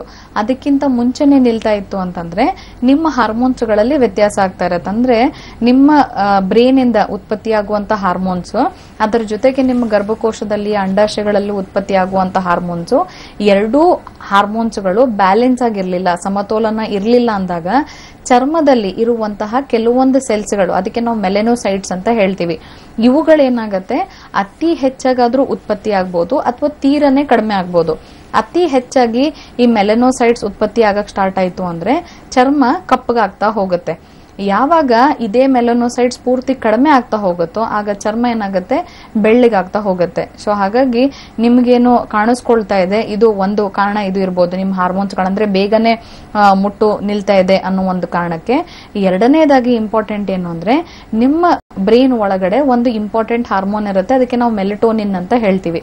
ಸೊ ಪ್ರತಿಯೊಬ್ಬರ ಚರ್ಮದಲ್ಲೂ ಹೀಗೇನೆ ಚರ್ಮ ಇರಬೇಕು, ಜೊತೆಗೆ ಇಷ್ಟೇ ಕಲರ್ ಇರಬೇಕು ಅಂತಂದಾಗ ಈ ಮೆಲಿಟೋನಿನ್ ಹಾರ್ಮೋನ್ಸ್ ಬ್ರೇನಲ್ಲಿ ಉತ್ಪತ್ತಿ ಆಗುವಂತದ್ದು ಬಹಳ ಇಂಪಾರ್ಟೆಂಟ್ ಅಕಸ್ಮಾತ್ ಆಗಿ ಈ ಮೆಲೆಟೋನಿನ್ ಹಾರ್ಮೋನ್ಸ್ ಅಲ್ಲೇನೆ ವಿಪರೀತ ಹೆಚ್ಚಾಗ್ತಾ ಹೋಯ್ತು ಅಂದಾಗ, ಆಗ ಕೂಡ ಚರ್ಮದ ಬಣ್ಣ ಏನಾಗುತ್ತೆ? ಹೆಚ್ಚಾಗ್ತಾ ಹೋಗುತ್ತೆ. ಅಂದ್ರೆ ಕಪ್ಪಾಗ್ತಾ ಹೋಗುವಂಥದ್ದು, ಕಂದು ಬಣ್ಣ ಬರುವಂಥದ್ದು, ಇದು ಸಮಸ್ಯೆ ಆಗುವಂಥದ್ದು. ಮೂರನೇದಾಗಿ ಅಕಸ್ಮಾತ್ ನೀವೇನಾದ್ರೂ ಕ್ರೀಮ್ ಆಗಿರ್ಬೋದು, ಆಯಿಂಟ್ಮೆಂಟ್ ಏನಾದ್ರೂ ಬಳಸ್ತಾ ಇದ್ರಿ, ಚರ್ಮಕ್ಕೆ ಸುಮಾರು ವರ್ಷಗಳಿಂದ ಅಥವಾ ಸುಮಾರು ತಿಂಗಳುಗಳಿಂದ ಅಂದಾಗ, ಆಗ ಈ ಕೆಮಿಕಲ್ಸ್ ಏನಾಗತ್ತೆ? ಚರ್ಮದ ಒಂದು ಸಣ್ಣ ಸಣ್ಣ ರಂಧ್ರಗಳಿರುತ್ತೆ ಪೋರ್ಸ್ ಅಂತ ಹೇಳ್ತೀವಿ ಮೇಲೆ ಇರುವಂತ ಚರ್ಮದ ಪದರಲ್ಲಿ. ಆ ರಂಧ್ರಗಳ ಮೂಲಕ ಈ ಕೆಮಿಕಲ್ಸ್ ಏನ್ ಮಾಡತ್ತೆ ಒಳಗಡೆ ಇರುವಂತಹ ಸೆಲ್ಸ್ ಗಳನ್ನ ಡ್ಯಾಮೇಜ್ ಆದಾಗ ಕೂಡ ಚರ್ಮ ಕಪ್ಪಾಗ್ತಾ ಇರುತ್ತೆ. ಸೊ ಒಂದ್ಸತಿ ನೀವು ಬಂದು ಭೇಟಿ ಮಾಡಿದ್ರೆ ಖಂಡಿತವಾಗ್ಲೂ ಯಾವ ಕಾರಣಕ್ಕಾಗಿ ನಿಮ್ ಚರ್ಮ ಕಪ್ಪಗಾಗಿದೆ ಇದನ್ನ ನೋಡ್ಕೊಂಡು ಚಿಕಿತ್ಸೆ ಬೇಕಾ ಬೇಡವಾ ಇದ್ರ ಬಗ್ಗೆ ಖಂಡಿತವಾಗ್ಲೂ ಹೇಳ್ಬೋದಮ್ಮ. ಓಕೆ ಮಾ thanks for calling next caller ಇದ್ದಾರೆ. ಹಲೋ ಹಲೋ ತಮ್ಮ ಹೆಸರನ್ನ ತಿಳಿಸಿ. ರಶ್ಮಿ. ಡಾಕ್ಟರ್ ಇದ್ದಾರೆ ಪ್ರಶ್ನೆಯನ್ನ ಕೇಳಿ. ಹಲೋ. ಹಲೋ. ನಮಸ್ತೆ ರಶ್ಮಿ ಅವರೇ ಹೇಳಿ. ನಮಸ್ತೆ ಮೇಡಮ್ ಹೇಳಿ ಅಮ್ಮ. ಈ ಕಣ್ಣತ್ರ ತುಂಬಾ ಡಾರ್ಕ್ ಸರ್ಕಲ್ ಆಗಿದೆ. ಓಕೆ ಸ್ವಲ್ಪ ಲೈಟ್ ಇದೆ ಸೊ ಏನ್ ಮಾಡ್ಬೇಕು? ಯಾವಾಗಿಂದ ಆಗ್ತಿದ್ಯಮ್ಮ ಒನ್ ಮಂತ್ ಆಯ್ತು. ಒನ್ ಮಂತ್ ಆಯ್ತು. ಮೊದಲನೇದಾಗಿ ಇದಕ್ಕೆ ಏನು ಯಾವುದೇ ರೀತಿ ಆಯಿಂಟ್ಮೆಂಟ್ ಕ್ರೀಮ್ ಏನು ಹಚ್ಕೊಳಕ್ ಹೋಗ್ಬೇಡಿ. ಮೊದಲನೇದಾಗಿ. ಎರಡನೇದಾಗಿ ಇಂಪಾರ್ಟೆಂಟ್ ಏನು ಅಂದ್ರೆ ನಿದ್ದೆ ಚೆನ್ನಾಗಿ ಮಾಡ್ಬೇಕಾಗತ್ತೆ. ಚರ್ಮದ ಸುತ್ತಲೂ, ಅಂದ್ರೆ ಕಣ್ಣಿನ ಸುತ್ತಲೂ ಚರ್ಮ ಏನಾದ್ರೂ ಕಪ್ಪಗಾಗ್ತಾ ಇತ್ತು ಅಂತಂದಾಗ ಅದಕ್ಕೆ ನಿದ್ದೆ ಬಹಳ ಇಂಪಾರ್ಟೆಂಟ್ ಆಗುತ್ತೆ. ಮೂರನೇದಾಗಿ ಕಣ್ಣಿನ ಸುತ್ತಲೂ ಏನಾಗುತ್ತೆ? ಸಣ್ಣ ಸಣ್ಣ ಮಾಂಸಖಂಡಗಳಿರುತ್ತೆ. ಅವುಗಳಿಗೆ ಏನಾದ್ರೂ ಸ್ಟ್ರೇನ್ ಆಗಿತ್ತು ಅಂತಂದಾಗ ಕೂಡ ಈ ರೀತಿ ಸಮಸ್ಯೆಗಳಾಗುತ್ತೆ. ಇನ್ನು ನಾಲ್ಕನೇದಾಗಿ ನಿಮ್ಗೆ ಏನಾದ್ರೂ ಅಲರ್ಜಿ ಸಮಸ್ಯೆಗಳಿತ್ತು. ಅಂದ್ರೆ ಸೀನುಗಳು ಬರುವಂಥದ್ದು, ಅಥವಾ ಘಾಟು ಬಂದಾಗ ಸೀನ್ಗಳು ಬರುವಂಥದ್ದು, ಮೂಗಲ್ ಉರಿ ಆಗುವಂಥದ್ದು ಅಥವಾ ಮೂಗಲ್ ನೀರು ಸುರಿಯುವಂಥದ್ದು, ಈ ರೀತಿ ಸಮಸ್ಯೆಗಳು ಇದ್ದಾಗ ಕೂಡ ಕಣ್ಣಿನ ಸುತ್ತಲೂ ಏನಾಗುತ್ತೆ? ಕಪ್ಪಗಾಗ್ತಾ ಇರುತ್ತೆ. ಇಂಪಾರ್ಟೆಂಟ್ ಏನು ಅಂದ್ರೆ, ನಿಮ್ಮ ದೇಹದಲ್ಲಿರುವಂತಹ ಪೌಷ್ಟಿಕಾಂಶದ ಕೊರತೆ ಇದ್ದಾಗ, ಅಂದ್ರೆ ವೈಟಮಿನ್ಸ್ ಕಡಿಮೆ ಆಗ್ತಾ ಇತ್ತು, ಅಥವಾ ಮಿನರಲ್ಸ್ಗಳು ಕಡಿಮೆ ಆಗ್ತಿತ್ತು ಅಂದ, ಅಂದಾಗ ಆಗ ಏನಾಗುತ್ತೆ? ಚರ್ಮದ ಸುತ್ತಲೂ ಇರುವಂತ ಕಣ್ಣಿನ ಸುತ್ತಲೂ ಇರುವಂತ ಚರ್ಮಕ್ಕೆ ಏನಾಗುತ್ತೆ? ರಕ್ತ ಸಂಚಾರ ಕರೆಕ್ಟ್ ಆಗಿ ಆಗ್ತಿರಲ್ಲ. ಆಗ ಮಾತ್ರನೇ ಚರ್ಮ ಏನಾಗುತ್ತೆ? ಕಪ್ಪಾಗ್ತಾ ಇರುತ್ತೆ. ಸೊ ಕೇವಲ ಒಂದು ತಿಂಗಳಿಂದ ಇದೆ ಅಂತ ಹೇಳ್ತಿದ್ದೀರಾ? ಚೆನ್ನಾಗಿ ನೀರು ತೆಗೆದುಕೊಳ್ಬೇಕಾಗತ್ತೆ. ದಿನ ಎರಡು ಅಥವಾ ಮೂರು ಹಣ್ಣುಗಳನ್ನ ಉಪಯೋಗಿಸಕ್ ಸ್ಟಾರ್ಟ್ ಮಾಡಿ, ತದನಂತರ ನಿದ್ದೆ ಚೆನ್ನಾಗಿ ಮಾಡಬೇಕಾಗತ್ತೆ. ಇದನ್ನ ಎರಡು ತಿಂಗಳು ಮಾಡಿ ಆದ್ಮೇಲೆ ಕೂಡ ಏನು ಕಣ್ಣಿನ ಸುತ್ತಲೂ ಇರುವಂತ ಚರ್ಮ ಕಪ್ಪದು ಕಡಿಮೆ ಆಗ್ಲಿಲ್ಲ ಅಂತ ಖಂಡಿತವಾಗ್ಲೂ ಬಂದು ಭೇಟಿ ಮಾಡಿ ಅಮ್ಮ. ಓಕೆ ಮಾ ಥ್ಯಾಂಕ್ಸ್ ಫಾರ್ ಕಾಲಿಂಗ್ ವೀಕ್ಷಕರೇ, ಕಾರ್ಯಕ್ರಮಕ್ಕೆ ಕರೆ ಮಾಡಬೇಕಾಗಿರುವ ಸಂಖ್ಯೆ ನಿಮ್ಮ ಟಿವಿ ಸ್ಕ್ರೀನ್ ಮೇಲೆ ಬರ್ತಾ ಇದೆ. ಕರೆ ಮಾಡಬೇಕಾದ್ರೆ ಟಿವಿ ವಾಲ್ಯೂಮ್ನ ಕಂಪ್ಲೀಟ್ಲಿ ಮ್ಯೂಟ್ ಮಾಡಿ ಮಾತನಾಡಿ. ಇನ್ನು ನೀವು ಕೂಡ ಯಾವುದೇ ರೀತಿಯಾದ ಒಂದು ಆರೋಗ್ಯದ ಸಮಸ್ಯೆಯನ್ನು ಎದುರಿಸ್ತಾ ಇದ್ದಲ್ಲಿ ಪ್ರತಿಯೊಬ್ಬರು ಪೇಷಂಟ್ ಅನ್ಕೊಳ್ಳುವಂಥದ್ದು ನಾವು ತಗೊಳ್ಳುವಂತಹ ಟ್ರೀಟ್ಮೆಂಟ್ ಇಂದ ನಮಗೆ ಒಂದು ಒಂದು ಕ್ಯೂರಬಲ್ ಟ್ರೀಟ್ಮೆಂಟ್ ಬೇಕು. ಜೊತೆಗೆ ಬೇರೆ ಯಾವುದೇ ರೀತಿಯಾದ ಸೈಡ್ ಎಫೆಕ್ಟ್ ಆಗಬಾರ್ದು ಅಂತ ಅನ್ಕೊಳ್ತಾರೆ. ಸೊ ನಮ್ಮ ಹೋಮಿಯೋಪತಿ ಶಾಖೆಯಲ್ಲಿ ಯಾವುದೇ ರೀತಿ ಸೈಡ್ ಎಫೆಕ್ಟ್ ಎದುರುವಂತಹ ಟ್ರೀಟ್ಮೆಂಟ್ ಅನ್ನ ತಗೊಳ್ಬೇಕು ಅಂತ ಅನ್ಕೊಂಡಿದ್ದಲ್ಲಿ ಬ್ಯಾಂಗ್ಳೂರಲ್ಲಿ ಜಯನಗರ್ ಮತ್ತು ಮಲ್ಲೇಶ್ವರಂನಲ್ಲಿ ಒಂದು ಶಾಖೆ ಇದೆ. ಇನ್ ಕೇಸ್ ಬ್ಯಾಂಗ್ಳೂರ್ ಬಿಟ್ಟು ಹೊರಗಡೆ ಇರೋರು ಕೂಡ ಒಂದು ದಾವಣಗೆರೆ ಆಗಿರ್ಬೋದು, ಮೈಸೂರು ಆಗಿರ್ಬೋದು, ಹುಬ್ಳಿ, ಕಲಬುರಗಿ, ಹಾಸನ, ಶಿವಮೊಗ್ಗ, ಉಡುಪಿ ಹೀಗೆ ಕೆಲವೊಂದು ಭಾಗದಲ್ಲಿ ಒಂದು ಶಾಖೆ ಇದೆ. ಜೊತೆಗೆ ಮಹಾರಾಷ್ಟ್ರದಲ್ಲೂ ಕೂಡ ಕೆಲವೊಂದು ಶಾಖೆ ಇರೋದ್ರಿಂದ ನಿಮ್ಮ ಟಿವಿ ಸ್ಕ್ರೀನ್ ಮೇಲೆ ಬರ್ತಿರುವಂತಹ ದೂರವಾಣಿ ಸಂಖ್ಯೆಗೆ ಕರೆ ಮಾಡಿ. ಇನ್ ಕೇಸ್ ನೀವು ಇಲ್ಲಿವರೆಗೂ ಏನಾದರೂ ಟ್ರೀಟ್ಮೆಂಟ್ ಅನ್ನ ತಗೊಂಡಿದ್ರೆ ವಿತ್ ರಿಪೋರ್ಟ್ ಜೊತೆಗೆ ನೀವು ಹಾಸ್ಪಿಟಲ್ಗೆ ಭೇಟಿ ನೀಡೋದ್ರಿಂದ ನಿಮ್ಮ ಒಂದು ಸಮಸ್ಯೆ ಯಾವ ಹಂತದಲ್ಲಿದೆ, ಯಾವ ರೀತಿಯಾದ ಟ್ರೀಟ್ಮೆಂಟ್ ನಿಮಗೆ ನೆಸೆಸಿಟಿ ಇದೆ ಅನ್ನೋದ್ರ ಬಗ್ಗೆ ಕಂಪ್ಲೀಟ್ ಮಾಹಿತಿಯನ್ನ ನೀವು ಪಡಿಬಹುದು. ಎಸ್ ಮ್ಯಾಮ್ ಈಗ ಸ್ಕಿನ್ ಬಗ್ಗೆ ತಾವು ಸಾಕಷ್ಟು ಮಾಹಿತಿಯನ್ನು ತಿಳಿಸ್ಕೊಡ್ತಾ ಇದ್ರಿ. ಮಾತನ್ನ ಮುಂದುವರಿಸೋಣ ಮ್ಯಾಮ್ ಮತ್ತೊಬ್ರು ಕಾಲರ್ ಇದ್ದಾರೆ. ಹಲೋ? ಹಲೋ ನಮಸ್ಕಾರ. ನಮಸ್ತೆ ತಮ್ಮ ಹೆಸರು? ನನ್ನ ಹೆಸರು ಶ್ರವಂತಿ. ಶ್ರವಂತಿ ಅವರೇ ಡಾಕ್ಟರ್ ಇದ್ದಾರೆ ಪ್ರಶ್ನೆಯನ್ನ ಕೇಳಿ. ನಮಸ್ತೆ ಡಾಕ್ಟರ್. ನಮಸ್ತೆ ಹೇಳಿ ಅಮ್ಮ. ಡಾಕ್ಟರ್ ನನಗೂ ಡಾರ್ಕ್ ಸರ್ಕಲ್ ಇದೆ. ಅದಕ್ಕೆ ಏನ್ ಮಾಡ್ಬೇಕು ಡಾಕ್ಟರ್? ಯಾವಾಗಿಂದ ಇದೆಯಮ್ಮ? ಇದು ರೀಸೆಂಟ್ ಆಗಿ ಜಾಸ್ತಿ ಆಗಿದೆ ಡಾಕ್ಟರ್. ಯಾವಾಗಿಂದ? ಒಂದು ಟೂ ತ್ರೀ ಇಯರ್ಸ್ ಇಂದ. ಟೂ ತ್ರೀ ಇಯರ್ಸ್ ಇಂದ ಹೆಚ್ಚಾಗಿದೆ. ಇದಕ್ ಮುಂಚೆನೂ ಇತ್ತ ಅಮ್ಮ? ಹಾ ಇತ್ತು ಡಾಕ್ಟರ್ ಬಟ್ ಅವಾಗ ಅಷ್ಟೊಂದು ಗೊತ್ತಾಗ್ಲಿಲ್ಲ. ಓಕೆ ಮುಟ್ಟಿ ಮುಟ್ಟಿಂದ ಏನಾದ್ರೂ ಸಮಸ್ಯೆ ಇದೆಯಮ್ಮ ಪೀರಿಯಡ್ಸ್ ಏನಾದ್ರೂ ಪ್ರಾಬ್ಲಮ್ ಇದೆಯಾ? ಇಲ್ಲ ಡಾಕ್ಟರ್ ಪೀರಿಯಡ್ಸ್ ಎಲ್ಲ ಕರೆಕ್ಟ್ ಆಗುತ್ತೆ. ನಿದ್ದೆ ಏನಾದ್ರೂ ಸಮಸ್ಯೆ ಇದೆಯಮ್ಮ ಇಲ್ಲ ಡಾಕ್ಟರ್ ನಿದ್ದೆ ಚೆನ್ನಾಗಿ ಬರುತ್ತೆ ಅಲ್ವಾ? ಓಕೆ ನೋಡಿ ಅಮ್ಮ, ಎರಡು, ಮೂರು ವರ್ಷದಿಂದ ಇದೆ ಅಂತ ಹೇಳ್ತಿದ್ದೀರಾ? ಸೊ ಯೂಶಲಿ ನಾವು ಡಾರ್ಕ್ ಸರ್ಕಲ್ಸ್ ಏನಕ್ಕೆ ಹೇಳ್ತೀವಿ ಅಂದ್ರೆ ಅಕಸ್ಮಾತ್ ಆಗಿ ಹಾರ್ಮೋನ್ಸ್ಗಳಲ್ಲಿ ಏನಾದ್ರೂ ಇಂಬ್ಯಾಲೆನ್ಸ್ ಆಗ್ತಾ ಇತ್ತು, ಅಥವಾ ನಿದ್ದೆ ಕರೆಕ್ಟಾಗಿ ಸಿಗ್ ಆಗ್ತಾ ಇರಲಿಲ್ಲ ಅಂತಂದಾಗ, ಅಥವಾ ಮೂರನೇದಾಗಿ ಸ್ಟ್ರೆಸ್ ತುಂಬಾ ಇತ್ತು ಟೆನ್ಷನ್ಸು ಯೋಚನೆಗಳೇನಾದರೂ ಹೆಚ್ಚಾಗ್ತಿತ್ತು ಅಂದಾಗ, ನೀವು ಮಲ್ಕೋತಾ ಇರ್ತೀರಾ? ಆದ್ರೆ ನಿಮ್ಗೆ ನಿಮ್ಮ ಮನಸ್ಸಿಗೆ ಆಗಿರ್ಬೋದು, ನಿಮ್ಮ ಬ್ರೈನಿಗೆ, ನಿಮ್ಮ ಬಾಡಿಗೆ ಎಷ್ಟು ಮಟ್ಟಿಗೆ ಏನು ನಿದ್ದೆ ಅವಶ್ಯಕತೆ ಇದೆ ಅದೇನಾದ್ರೂ ಕಡಿಮೆ ಆಗ್ತಾ ಇತ್ತು ಅಂದಾಗ ಕೂಡ ಕಣ್ಣಿನ ಸುತ್ತಲೂ ಇರುವಂತ ಮಾಂಸಖಂಡಗಳಿಗೆ ಸ್ಟ್ರೈನ್ ಆಗ್ತಾ ಹೋಗುತ್ತೆ. ಸೊ ಆ ಕಾರಣದಿಂದನೂ ರಕ್ತ ಸಂಚಾರ ಚರ್ಮಕ್ಕೆ ಕರೆಕ್ಟ್ ಆಗಿ ಆಗ್ತಾ ಇರಲ್ಲ. ಸೊ ಅದು ಒಂದು ಕಾರಣ ಇರುತ್ತೆ. ನಾಲ್ಕನೇದಾಗಿ ಇಂಪಾರ್ಟೆಂಟ್ ಏನು ಅಂತಂದ್ರೆ ಅಕಸ್ಮಾತ್ ಆಗಿ ನಿಮ್ಮ ದೇಹದಲ್ಲಿ ವೈಟಮಿನ್ ಬಿ ಟ್ವೆಲ್ವ್ ಆಗಿರ್ಬೋದು ಅಥವಾ ಕ್ಯಾಲ್ಸಿಯಂ ಆಗಿರ್ಬೋದು ವೈಟಮಿನ್ ಡಿ ಆಗಿರ್ಬೋದು, ಇವುಗಳ ಕೊರತೆ ಇದ್ದಾಗ ಕೂಡ ಈ ರೀತಿ ಸಮಸ್ಯೆ ಆಗ್ತಿರುತ್ತೆ ಸೊ ಒಂದ್ ಸತಿ ನೀವು ವೈಟಮಿನ್ ಬಿ ಟ್ವೆಲ್ ಮತ್ತೆ ವೈಟಮಿನ್ ಡಿ ತ್ರೀ ಇವೆರಡನ್ನೂ ಪರೀಕ್ಷೆ ಮಾಡಿಸಿ ತದನಂತರ ನಮ್ಮ ಹೋಮಿಯೋಪತಿ ವೈದ್ಯರನ್ನ ಬಂದು ಭೇಟಿ ಮಾಡಿದ್ರೆ ಎರಡು ಅಥವಾ ಮೂರು ವರ್ಷದಿಂದ ಏನ್ ಸಮಸ್ಯೆ ಇದೆ ಅದು ಖಂಡಿತವಾಗ್ಲೂ ಪರಿಹಾರ ಕೊಡ್ಬೋದಮ್ಮ ಥ್ಯಾಂಕ್ಸ್ ಫಾರ್ ಕಾಲಿಂಗ್ ಮತ್ತೊಬ್ರು ಕಾಲರ್ ಇದ್ದಾರೆ ಹಲೋ ಹಲೋ ನಮಸ್ಕಾರ. ಹಲೋ ನಮಸ್ತೆ ಸರ್ ತಮ್ಮ ಹೆಸರು? ಭರತ್. ಭರತ್ ಅವರೇ ಡಾಕ್ಟರ್ ಇದ್ದಾರೆ ನಿಮ್ಮ ಪ್ರಶ್ನೆಯನ್ನ ತಿಳಿಸಿ. ಓಕೆ ಹಲೋ ಹಲೋ ಹೇಳಿ ಭರತ್. ನಮ್ದು ಮುಖದ ಮೇಲೆ ಸಖತ್ತು ಗುಳ್ಳೆ ಆಗಿದೆ. ಅಂದ್ರೆ ಮೂರು ವರ್ಷದಿಂದ ಅದು ಹೋಗೇ ಇಲ್ಲ. ಓಕೆ ಆಯಿಂಟ್ಮೆಂಟ್ ಹಚ್ಚಿದ್ರೆ ಹೋಗುತ್ತೆ ಮತ್ತೆ ಬರುತ್ತೆ. ಓಕೆ ಭರತ್ ವಯಸ್ಸು ಎಷ್ಟು Bharat? Twenty twenty years okay three years ಇಂದ ಇದೆ ಇದು ಪ್ರಾಬ್ಲಮ್ ಓಕೆ ಎಲ್ಲೆಲ್ಲಿದೆ? ಮುಖದ ಮೇಲೆ ಎಲ್ಲಾ ಕಡೆನೂ ಇದೆಯಾ ಅಥವಾ ಹಣೆ ಮೇಲೆ ಮಾತ್ರ ಇದೆಯಾ? ಹಣೆ ಮೇಲೆ ಮೂಗಿನ ಮೇಲೆ ಕೆನ್ನೆ ಮೇಲೆ. ಓಕೆ ಸಿ ಇದಕ್ಕೆ ನಾವು ಎರಡು ತರದ್ದು ಆಕ್ನೆ ಪ್ರಾಬ್ಲಮ್ಸ್ ಇರುತ್ತೆ. ಒಂದಕ್ಕೆ ಆಕ್ನೆ ರೋಸಿಯಾ ಅಂತ ಹೇಳ್ತೀವಿ, ಇನ್ನೊಂದು ಆಕ್ನೆ ವಲ್ಗ್ಯಾರಿಸ್ ಅಂತ ಹೇಳ್ತೀವಿ. ಸೊ ಇದೇ ಆಕ್ನೆ ಅಂದ್ರೆ ಪಿಂಪಲ್ಸ್ ಗಳಲ್ಲೇ, ಮೊಡವೆಗಳಲ್ಲೇ ಬೇರೆ ಬೇರೆ ಥರದ್ದು ಅಂದ್ರೆ ಬ್ಯಾಕ್ಟೀರಿಯಾ ಇಂದ ಆಗಿರ್ಬೋದು ವೈರಸ್ ಇಂದ ಆಗಿರ್ಬೋದು ಫಂಗಸ್ ಇಂದ ಇನ್ಫೆಕ್ಷನ್ಸೇ ಆಗಿರ್ಬೋದು. ಬಟ್ ನೀವು ಆಯಿಂಟ್ಮೆಂಟ್ ಅಥವಾ ಕ್ರೀಮ್ ಉಪಯೋಗಿಸ್ತಾ ಇದ್ರೆ ಖಂಡಿತವಾಗ್ಲೂ ಅದು ವಾಸಿ ಆಗದೇ ಇಲ್ಲ. ಹೋಗುತ್ತೆ ಮತ್ತೆ ಬರ್ತಾ ಇರುತ್ತೆ. ಸೊ ಇದಕ್ಕೆ ಕಾರಣ ಏನು ಅಂತಂದ್ರೆ ಯೂಶಲಿ ಈ ಏಜ್ ಗ್ರೂಪ್ ಅಲ್ಲಿ, ಅಂದ್ರೆ ನೀವಿರುವಂತ ಏಜ್ ಏನಿರುತ್ತೆ, ಈ ಏಜ್ ಗ್ರೂಪ್ ಅಲ್ಲಿ ಹಾರ್ಮೋನ್ಸ್ಗಳಲ್ಲಿ ತುಂಬಾ ವ್ಯತ್ಯಾಸ ಆಗ್ತಾ ಇರುತ್ತೆ. ಸೊ ನಿಮ್ಮ ಬ್ರೇನ್ ಇಂದ ಉತ್ಪತ್ತಿ ಆಗುವಂತ ಹಾರ್ಮೋನ್ಸ್ಗಳಲ್ಲಿ ಏರುಪೇರ್ ಆದಾಗ ಜನರಲಿ ಟೀನ್ ಏಜ್ ಅಲ್ಲಿ ಏನಾಗುತ್ತೆ, ಅತಿ ಹೆಚ್ಚಾಗಿ ಹಾರ್ಮೋನ್ಸ್ಗಳ ವ್ಯತ್ಯಾಸ ಆಗೋದ್ರಿಂದ ಚರ್ಮದ ಒಳಗಡೆ ಸಣ್ಣ ಸಣ್ಣ ರಂಧ್ರಗಳಿರುತ್ತೆ, ಅದಕ್ಕೆ ನಾವು ಪೋರ್ಸ್ ಇಂದ ಫಾಲಿಕಲ್ಸ್ ಅಂತ ಹೇಳ್ತೀವಿ. ಸೊ ಈ ಫಾಲಿಕಲ್ಸ್ ಯಾವಾಗ ಬ್ಲಾಕ್ ಆಗ್ತಾ ಹೋಗುತ್ತೋ ಸೊ ಆವಾಗ ಏನಾಗುತ್ತೆ? ಮೊಡವೆಗಳು ಅಂದ್ರೆ ಮುಖದ ಮೇಲೆ ಅತಿ ಹೆಚ್ಚಾಗಿ ಮೊಡವೆಗಳನ್ನು ನೋಡ್ತಾ ಹೋಗ್ತೀವಿ. ಎರಡನೇದಾಗಿ ಅಕಸ್ಮಾತ್ ಆಗಿ ನಿಮ್ಮ ಮುಖದ ಮೇಲೆ ಮಾತ್ರನೇ ಈ ಸೀಬಮ್ ಅನ್ನೋ ಒಂದು ಆಯಿಲ್ ಉತ್ಪತ್ತಿ ಆಗ್ತಾ ಇರುತ್ತೆ ನಮ್ಮ ಚರ್ಮದ ಮೇಲೆ.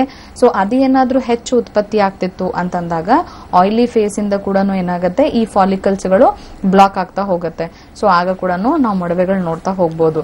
ಭರತ್, ಖಂಡಿತವಾಗ್ಲೂ ಇದಕ್ಕೆ ಚಿಕಿತ್ಸೆ ಇರುತ್ತೆ. ಒಂದ್ಸತಿ ನಮ್ಮ ಹೋಮಿಯೋಪತಿ ವೈದ್ಯರನ್ನ ಬಂದು ಭೇಟಿ ಮಾಡ್ಬೇಕಾಗತ್ತೆ Bharat. Okay sir thanks for calling ಮತ್ತೊಬ್ರು ಕಾಲರ್ ಇದ್ದಾರೆ. ಹಲೋ ಹಲೋ ನಮಸ್ಕಾರ. ನಮಸ್ತೆ ಮ್ಯಾಮ್ ತಮ್ಮ ಹೆಸರು? ನನ್ನ ಹೆಸರು ಗೀತಾ. ಮಾತಾಡಿಮ್ಮ. ಡಾಕ್ಟರ್ ಇದ್ದಾರೆ. ಹಲೋ ನಮಸ್ತೆ ಮ್ಯಾಮ್ ನಮಸ್ತೆ ಗೀತಾ ಅವರೇ. ಹೇಳಿ. ನಮ್ಮ ಅಕ್ಕ ಮಗುಗೆ ಪಿಂಪಲ್ಸ್ ಆಗಿದೆ ಮೇಡಮ್ ಕೈಗೆ ಕಾಲ್ಗೆ. ಓಕೆ ಫೇಸ್ ಎಲ್ಲ ಚೆನ್ನಾಗಿ ಇದೆ. ಹ್ಮ್ ಹ್ಮ್. ಯಾವ ರೀತಿ ಇದೆಯಮ್ಮ ಗುಳ್ಳೆಗಳು? ರೆಡ್ ಆಗಿದೆ ಮೇಡಮ್ ಅದ್ರ ಮೇಲ್ಗಡೆ ಏನಾದ್ರು ಹೊಟ್ಟು ಉದುರುತ್ತಮ್ಮ ಹಾ ಗುಳ್ಳೆ ತರ ಆಗುತ್ತೆ ಆಮೇಲೆ ರೆಡ್ ಆಗುತ್ತೆ ಮೇಡಮ್. ಅದಾದ್ಮೇಲೆ ಹಂಗೆ ಸರಿ ಹೋಗುತ್ತೆ ಅದು. ಎಷ್ಟೊತ್ತಿರುತ್ತಮ್ಮ? ಆ, ಅದು ಒಂದು ಏನೋ ಟೂ ತ್ರೀ ಡೇಸ್ ಬರುತ್ತೆ ಹೋಗುತ್ತೆ ಮ್ಯಾಮ್ ಓಕೆ ನೋಡಿ ಅಮ್ಮ ಈ ಕೈ ಮೇಲೆ ಅಥವಾ ಕಾಲ್ ಮೇಲೆ ಗುಳ್ಳೆಗಳಾಗ್ತಿದೆ ಅಂತಂದ್ರೆ ಅದಕ್ಕೆ ಬೇರೆ ಬೇರೆ ಸ್ಕಿನ್ ಪ್ರಾಬ್ಲಮ್ಸ್ಗಳು ಇರುತ್ತಮ್ಮ ಸೊ ಬರೀ ಗುಳ್ಳೆಗಳು ಅಂತಂದಾಗ ಸಾಕಷ್ಟು ಚರ್ಮದ ಸಮಸ್ಯೆಗಳು ಗುಳ್ಳೆಗಳಾಗ್ತಾ ಇರುತ್ತೆ. ಇಸಿಬು ಅಥವಾ ಡರ್ಮಟೈಟಿಸ್ ಏನಂತೀವಿ, ಅದರಲ್ಲಿ ಕೂಡ ಗುಳ್ಳೆಗಳಾಗುತ್ತೆ. ಇನ್ನು ಸ್ಕೇಬೀಸ್ ಅಂತ ಹೇಳ್ತೀವಿ, ಅದರಲ್ಲಿ ಕೂಡ ಗುಳ್ಳೆಗಳಾಗುತ್ತೆ. ಆರ್ಟಿಕೇರಿಯಾ ಅಂತ ಹೇಳ್ತೀವಿ, ಅದರಲ್ಲೂ ಗುಳ್ಳೆಗಳಾಗುತ್ತೆ. ಸೋರಿಯಾಸಸ್ ಅಲ್ಲೂ ಸ್ಟಾರ್ಟಿಂಗ್ ಸ್ಟೇಜಸ್ ಅಲ್ಲಿ ಗುಳ್ಳೆಗಳನ್ನೇ ಆಗ್ತಾ ಇರುತ್ತೆ. ಮತ್ತೆ ಕಾಂಟ್ಯಾಕ್ಟ್ ಡರ್ಮಟೈಟಿಸ್ ಅಲರ್ಜಿಕ್ ಡರ್ಮಟೈಟಿಸ್ ಅಂತೀವಿ, ಅದರಲ್ಲೂ ಕೂಡ ಗುಳ್ಳೆಗಳೇ ಆಗ್ತಾ ಇರುತ್ತೆ. ಸೊ ಹಾಗಾಗಿ ಸುಮಾರು ಕಾಯಿಲೆಗಳಲ್ಲಿ ಗುಳ್ಳೆಗಳೇ ಆಗತ್ತಮ್ಮ ಸೊ ನೀವು ಅವ್ರನ್ನ ಕರ್ಕೊಂಡು ಬಂದ್ರೆ ಯಾವ ತರದ ಗುಳ್ಳೆಗಳಿದೆ, ಜೊತೆಗೆ ಯಾವ ಕಾಯಿಲೆ ಇದೆ ಅದನ್ನ ನೋಡ್ಕೊಂಡು ಖಂಡಿತವಾಗ್ಲೂ ಚಿಕಿತ್ಸೆ ಕೊಡ್ಬೋದು. ಯಾವುದೇ ಮಕ್ಕಳಲ್ಲಾಗಿರ್ಬೋದು ದೊಡ್ಡವರಲ್ಲಾಗಿರ್ಬೋದು ಕೈ ಮೇಲೆ ಅಥವಾ ಕಾಲ್ ಮೇಲೆ ಗುಳ್ಳೆಗಳು ಕಾಣಿಸ್ಕೊಳ್ತಾ ಇದೆ. ಜೊತೆಗೆ ಅದು ಎರಡು ಅಥವಾ ಮೂರು ದಿನ ಇದೆ ಅಂತಂದಾಗ ನನಗನ್ಸಿದ ಮಟ್ಟಿಗೆ ನೀವು ಹೇಳ್ತಿರುವಂತ ಸಿಂಪ್ಟಮ್ಸ್ ನೋಡಿದ್ರೆ ಅದು ಡರ್ಮಟೈಟಿಸ್ ಇರಬಹುದು ಅಂತ ಅನ್ಸುತ್ತೆ. ಸೊ ಅದು ಹೋಗ್ತಿದೆ, ಮತ್ತೆ ಬರ್ತಾ ಇದೆ ಅಂತ ಅಂದಾಗ ಅದು ಅಕಸ್ಮಾತ್ ಆಗಿ ಚರ್ಮದ ಪದರುಗಳೆಲ್ಲ, ಅಂದ್ರೆ ಸ್ಟಾರ್ಟಿಂಗ್ ಹಂತದಲ್ಲೇ ಇರೋದ್ರಿಂದ ಅದು ಎರಡು, ಮೂರು ದಿನ ಉಳ್ಕೊಂಡು ತದನಂತರ ಕಡಿಮೆ ಆಗ್ತಿದೆ. ಅದೇನಾದ್ರೂ ಮೂರನೇ ಹಂತ, ನಾಲ್ಕನೇ ಹಂತ, ಅಂದ್ರೆ ಸ್ಟೇಜಸ್ ಜಾಸ್ತಿ ಆದಷ್ಟು ಏನಾಗುತ್ತೆ ಸತತವಾಗಿ ಹಾಗೆ ಉಳ್ಕೊಳ್ತಾ ಹೋಗುತ್ತೆ. ಸೊ ಒಂದ್ಸತಿ ನೀವು ಕರ್ಕೊಂಡು ಬಂದು ತೋರಿಸ್ಬೇಕಾಗತ್ತಮ್ಮ, ಯಾವ ರೀತಿ ಗುಳ್ಳೆಗಳಿದೆ ಅಥವಾ ಯಾವ ರೀತಿ ಚರ್ಮದ ಸಮಸ್ಯೆಗಳಿದೆ ಅಂತ ನೋಡ್ಕೊಂಡು ಅದಕ್ಕೆ ಚಿಕಿತ್ಸೆ ಹೋಮಿಯೋಪತಿದು ಕೊಡ್ಬೋದಮ್ಮ. ಓಕೆ ಮಾ thanks for calling and yes ma'am ನಾವು ಇಲ್ಲಿವರೆಗೂ ಮಾತನಾಡ್ತಾ ಇದ್ವಿ, ಒಂದು ಪಿಂಪಲ್ಸ್ ಆಗುವಂಥದ್ದು ಅಥವಾ ಸಣ್ಣ ಪುಟ್ಟ ರ್ಯಾಷಸ್ ಆಗಿರ್ಬೋದು ಪಿಗ್ಮೆಂಟೇಷನ್ ಆಗುವಂಥದ್ದು ಸ್ಕಿನ್ ಡ್ರೈ ಆಗುವಂಥದ್ದು ಆಯಿಲ್ ಸ್ಕಿನ್ ಆಗುವಂಥದ್ದು, ಇಂತಹ ಸಮಸ್ಯೆಗಳನ್ನ ನೋಡ್ತಾ ಇದ್ವಿ. ಇನ್ನು ಸ್ಕಿನ್ನಲ್ಲೇ ಅತಿ ದೊಡ್ಡ ಸಮಸ್ಯೆಗಳು ಅಂತ ಹೇಳೋದಾದ್ರೆ ಸೋರಿಯಾಸಿಸ್ ವಿಟಿಲಿಗೋ ಆಗಿರ್ಬೋದು ಫಂಗಲ್ ಇನ್ಫೆಕ್ಷನ್ ಡರ್ಮಟೈಟಿಸ್ ಇಂತಹ ಸಮಸ್ಯೆಗಳನ್ನ ನಾವು ನೋಡ್ತೇವೆ. ಅದ್ರ ಬಗ್ಗೆ ಮಾತನ್ನ ಮುಂದುವರಿಸೋಣ ಮ್ಯಾಮ್. ಮತ್ತೊಬ್ರು ಕಾಲರ್ ಇದ್ದಾರೆ. ಹಲೋ. ಹಾ ಹಲೋ. ತಮ್ಮ ಹೆಸರು? ತಮ್ಮ ಹೆಸರು ಲಕ್ಷ್ಮಿ. ಲಕ್ಷ್ಮಿ ಅವರೇ ಟಿವಿ ವಾಲ್ಯೂಮ್ನ ಕಂಪ್ಲೀಟ್ಲಿ ಮ್ಯೂಟ್ ಮಾಡಿಮ್ಮ ನಿಮ್ಮ ಪ್ರಶ್ನೆಯನ್ನ ತಿಳಿಸಿ ಡಾಕ್ಟರ್ ಇದ್ದಾರೆ. ಹಾ. ಹಲೋ. ಹಲೋ. ಹಾ ನಮಸ್ತೆ ಲಕ್ಷ್ಮಿ ಅವರೇ. ಹೇಳಿ ಅಮ್ಮ. ಏನಮ್ಮ? ಗುಳಿ ಕಲೆ ಇದಾವೆ ಅದಕ್ಕೆ. ಎಲ್ಲಿದೆಯಮ್ಮ? ಮುಖದ ಮೇಲೆ ಮುಖದ ಮೇಲೆ ಇದೆ ಗುಳ್ಳೆಗಳು ಇವಾಗ ಇದೆಯಾ ಅಮ್ಮ ಅಥವಾ ಬರೀ ಕಲೆಗಳಿದೆಯಾ ಅಮ್ಮ? ಅದು ಅಲೋವೆರಾ ಅಲೋವೆರಾ ಸ್ವಲ್ಪ ಯೂಸ್ ಮಾಡಿದೆ. ಹ್ಮ್ ಹ್ಮ್. ಹೋಗ್ತಾ ಇದ್ದಾರೆ. ಇವಾಗ ಕಲಿ ಅಷ್ಟಿದೆ ಓಕೆ ನೋಡಿ ಅಮ್ಮ ನೀವು ಅಲೋವೆರಾ ಆಗಿರ್ಬೋದು ಅಥವಾ ಯಾವ್ದಾದ್ರು ಆಯಿಂಟ್ಮೆಂಟ್ ಕ್ರೀಮ್ ಹಚ್ಕೊಂಡಿದ್ರಿ ಅಂದ್ರೆ ಮೊಡವೆಗಳು ಹೊರಟೋಗುತ್ತೆ. ಆದ್ರೆ ಕಲೆಗಳು ಕೂಡ ಹೋಗ್ಬೇಕು. ಕಲೆಗಳು ಉಳ್ಕೊಂಡಿದೆ ಅಂತಂದ್ರೆ ಯಾವ್ದೋ ಒಂದು ಹತ್ತು ಅಥವಾ ಇಪ್ಪತ್ತು ಪರ್ಸೆಂಟ್ ಅಷ್ಟು ಮೊಡವೆಗಳು ಯಾವ ಕಾರಣಕ್ಕಾಗಿ ಆಗಿತ್ತು ಅದರ ಅಂಶ ಚರ್ಮದ ಪದರುಗಳಲ್ಲಿ, ಅಂದ್ರೆ ಎರಡನೇ ಪದರು, ಮೂರನೇ ಪದರಲ್ಲಿ ಇನ್ನೂ ಉಳ್ಕೊಂಡಿದೆ ಅಂತ. ಆ ಕಾರಣಕ್ಕೆ ಮಾತ್ರನೇ ಕಲೆಗಳು ಕಾಣಿಸ್ಕೊಳ್ತಾ ಇರತ್ತೆ. ನೀವು ಒಂದ್ ವರ್ಷ, ಎರಡು ವರ್ಷ ಹಾಗೆ ಗ್ಯಾಪ್ ಕೊಟ್ರಿ ಅಂತಂದಾಗ ಏನಾಗುತ್ತೆ? ಮತ್ತೆ ಈ ಮೊಡವೆಗಳು ಮತ್ತೆ ಹೊರಗಡೆ ಕಾಣಿಸ್ಕೊಳ್ತಾ ಹೋಗುತ್ತೆ. ನಿಮ್ ಮುಟ್ಟು ಕರೆಕ್ಟ್ ಆಗ್ತಿದ್ಯಾ, ಅಮ್ಮ? ಇಂಪಾರ್ಟೆಂಟ್ ಏನು ಅಂತಂದ್ರೆ ಹಲೋ? ಹಲೋ ಕೇಳಿಸ್ತಾ ಇದೆಯಮ್ಮ? ಹಾ ಕೇಳಿಸ್ತಾ ಇದೆ ಹೇಳಿ. ಅಮ್ಮ ನಿಮ್ ಮುಟ್ಟು ಕರೆಕ್ಟ್ ಆಗತ್ತಾ? ಹಾ ಕರೆಕ್ಟ್ ಆಗುತ್ತೆ. ತಿಂಗಳು ತಿಂಗಳು ಕರೆಕ್ಟ್ ಆಗಿ ಆಗತ್ತಾ? ಬ್ಲೀಡಿಂಗ್ ಕೂಡ ಮೂರ್ ನಾಲ್ಕು ದಿನ ಆಗತ್ತಾ ಅಮ್ಮ? ಸ್ವಲ್ಪ ಡೇಟ್ ಸ್ವಲ್ಪ ಚೇಂಜ್ ಆಗುತ್ತೆ ಮ್ಯಾಮ್ ಏನಾಗತ್ತಮ್ಮ ಚೇಂಜ್ ಅಂದ್ರೆ? ಇವಾಗ ಟ್ವೆಂಟಿ ಏಟ್ ಅಂದ್ರೆ ಮುಂದೆ ಟ್ವೆಂಟಿ ಫೋರ್ ಟೆನ್ ಫೈವ್ ಹಿಂಗಾಗುತ್ತೆ ಓಕೆ ಅಂದ್ರೆ ಹತ್ತು ದಿನ ಮುಂಚೆನೆ ಆಗ್ತಿದ್ಯಾ ಅಮ್ಮ? ಓಕೆ ನೋಡಿ ಅಮ್ಮ, ಮುಟ್ಟಿನ ಸಮಸ್ಯೆ ಇದೆ ಅಂತ ಹೇಳ್ತಿದ್ದೀರಾ? ಸೊ ಅದಕ್ಕೆ ಚಿಕಿತ್ಸೆ ತೆಗೆದುಕೊಳ್ಳೋದು ಬಹಳ ಇಂಪಾರ್ಟೆಂಟ್ ಯಾಕಂತಂದ್ರೆ ಯೂಶಲಿ ಸ್ಕಿನ್ ಪ್ರಾಬ್ಲಮ್ಸ್ ಇರುವಾಗ ಹಾರ್ಮೋನ್ ಸಮಸ್ಯೆಗಳು ಬಹಳ ಇಂಪಾರ್ಟೆಂಟ್ ಇರುತ್ತೆ. ಸಾಕಷ್ಟು ಜನ ಹೆಣ್ಮಕ್ಳಲ್ಲಿ ಯಾವಾಗ ಮುಟ್ಟಿನ ಸಮಸ್ಯೆಗಳಿರುತ್ತೋ, ಅಂದ್ರೆ ಪೀರಿಯಡ್ಸ್ ಏನಾದ್ರೂ ಲೇಟ್ ಆಗುವಂಥದ್ದು, ಡೇಟ್ ಕರೆಕ್ಟಾಗಿ ಆಗ್ತಿರ್ಲಿಲ್ಲ, ಡೇಟ್ ಲೇಟ್ ಆಗ್ತಿತ್ತು, ಅಥವಾ ಹತ್ತು ದಿನ, ಹದಿನೈದು ದಿನ ಮುಂಚೆನೆ ಆಗ್ತಾ ಇತ್ತು, ಅಥವಾ ಬ್ಲೀಡಿಂಗ್ ಏನಾದ್ರೂ ಐದು ದಿನಕ್ಕಿಂತ ಹೆಚ್ಚಾಗಿ, ಅಂದ್ರೆ ಎಂಟು ದಿನ, ಹತ್ತು ದಿನ ಆಗ್ತಾ ಇತ್ತು, ಅಥವಾ ಒಂದು ದಿನ ಮಾತ್ರ ಪೀರಿಯಡ್ಸ್ ಆಗ್ತಾ ಇತ್ತು ಅಂತಂದಾಗ ಇವೆಲ್ಲವೂ ಹಾರ್ಮೋನ್ಸ್ ಇಂದನೇ ಸಮಸ್ಯೆಗಳಾಗುವಂಥದ್ದಮ್ಮ. ಸೊ ಅಕಸ್ಮಾತ್ ಆಗಿ ನೀವು ಬರೀ ಸ್ಕಿನ್ಗೆ ಚಿಕಿತ್ಸೆ ತಗೊಳ್ತಾ ಇದ್ರಿ ಅಂದ್ರೆ ಖಂಡಿತವಾಗ್ಲೂ ಮೊಡವೆಗಳು ಮತ್ತೆ ಏನು ಕಲೆಗಳಿದೆ ಅದು ಹೊರಟೋಗಲ್ಲ. ನಿಮ್ ಹಾರ್ಮೋನ್ಸ್ಗೆನೆ ಚಿಕಿತ್ಸೆ ತೆಗೆದುಕೊಳ್ಬೇಕಾಗತ್ತೆ. ನಿಮ್ ಹಾರ್ಮೋನ್ಸ್ಗಳು ಬ್ಯಾಲೆನ್ಸ್ ಆಗ್ತಾ ಆಗ್ತಾ ಏನಾಗುತ್ತೆ, ನಿಮ್ ಡೇಟ್ ಕರೆಕ್ಟ್ ಆಗಿ ಬರ್ತಾ ಹೋಗುತ್ತೆ. ಅಂದ್ರೆ ಇಪ್ಪತ್ತೆಂಟು ದಿನದಿಂದ ಮೂವತ್ತೆರಡು ದಿನದ ಒಳಗಡೆನೆ ಆಗ್ತಾ ಹೋಗುತ್ತೆ. ಸೊ ಆವಾಗ ಏನಾಗುತ್ತೆ, ಮೊಡವೆಗಳಾಗಿರ್ಬೋದು, ಕಲೆಗಳಾಗಿರ್ಬೋದು ತಂತಾನೇನೆ ಕಡಿಮೆ ಆಗತ್ತಮ್ಮ. ಸೊ ಒಂದು ಸತಿ ನೀವು ಹೊಟ್ಟೆದು ಸ್ಕ್ಯಾನಿಂಗ್ ಮಾಡಿಸುವಂತದ್ದು ಬಹಳ ಇಂಪಾರ್ಟೆಂಟ್ ಗರ್ಭಕೋಶ ಅಂಡಾಶಯಗಳು ಹೇಗಿದೆ ಅದನ್ನ ನೋಡಿಕೊಂಡು ಅದಕ್ಕೆ ತಕ್ಕನಾಗೆ ನಾವು ಚಿಕಿತ್ಸೆಯನ್ನು ಕೊಡ್ಬೋದು. ಓಕೆ ಮಾ ಥ್ಯಾಂಕ್ಸ್ ಫಾರ್ ಕಾಲಿಂಗ್ ಮತ್ತೊಬ್ರು ಕಾಲರ್ ಇದ್ದಾರೆ. ಹಲೋ ಹಲೋ ನಮಸ್ಕಾರ.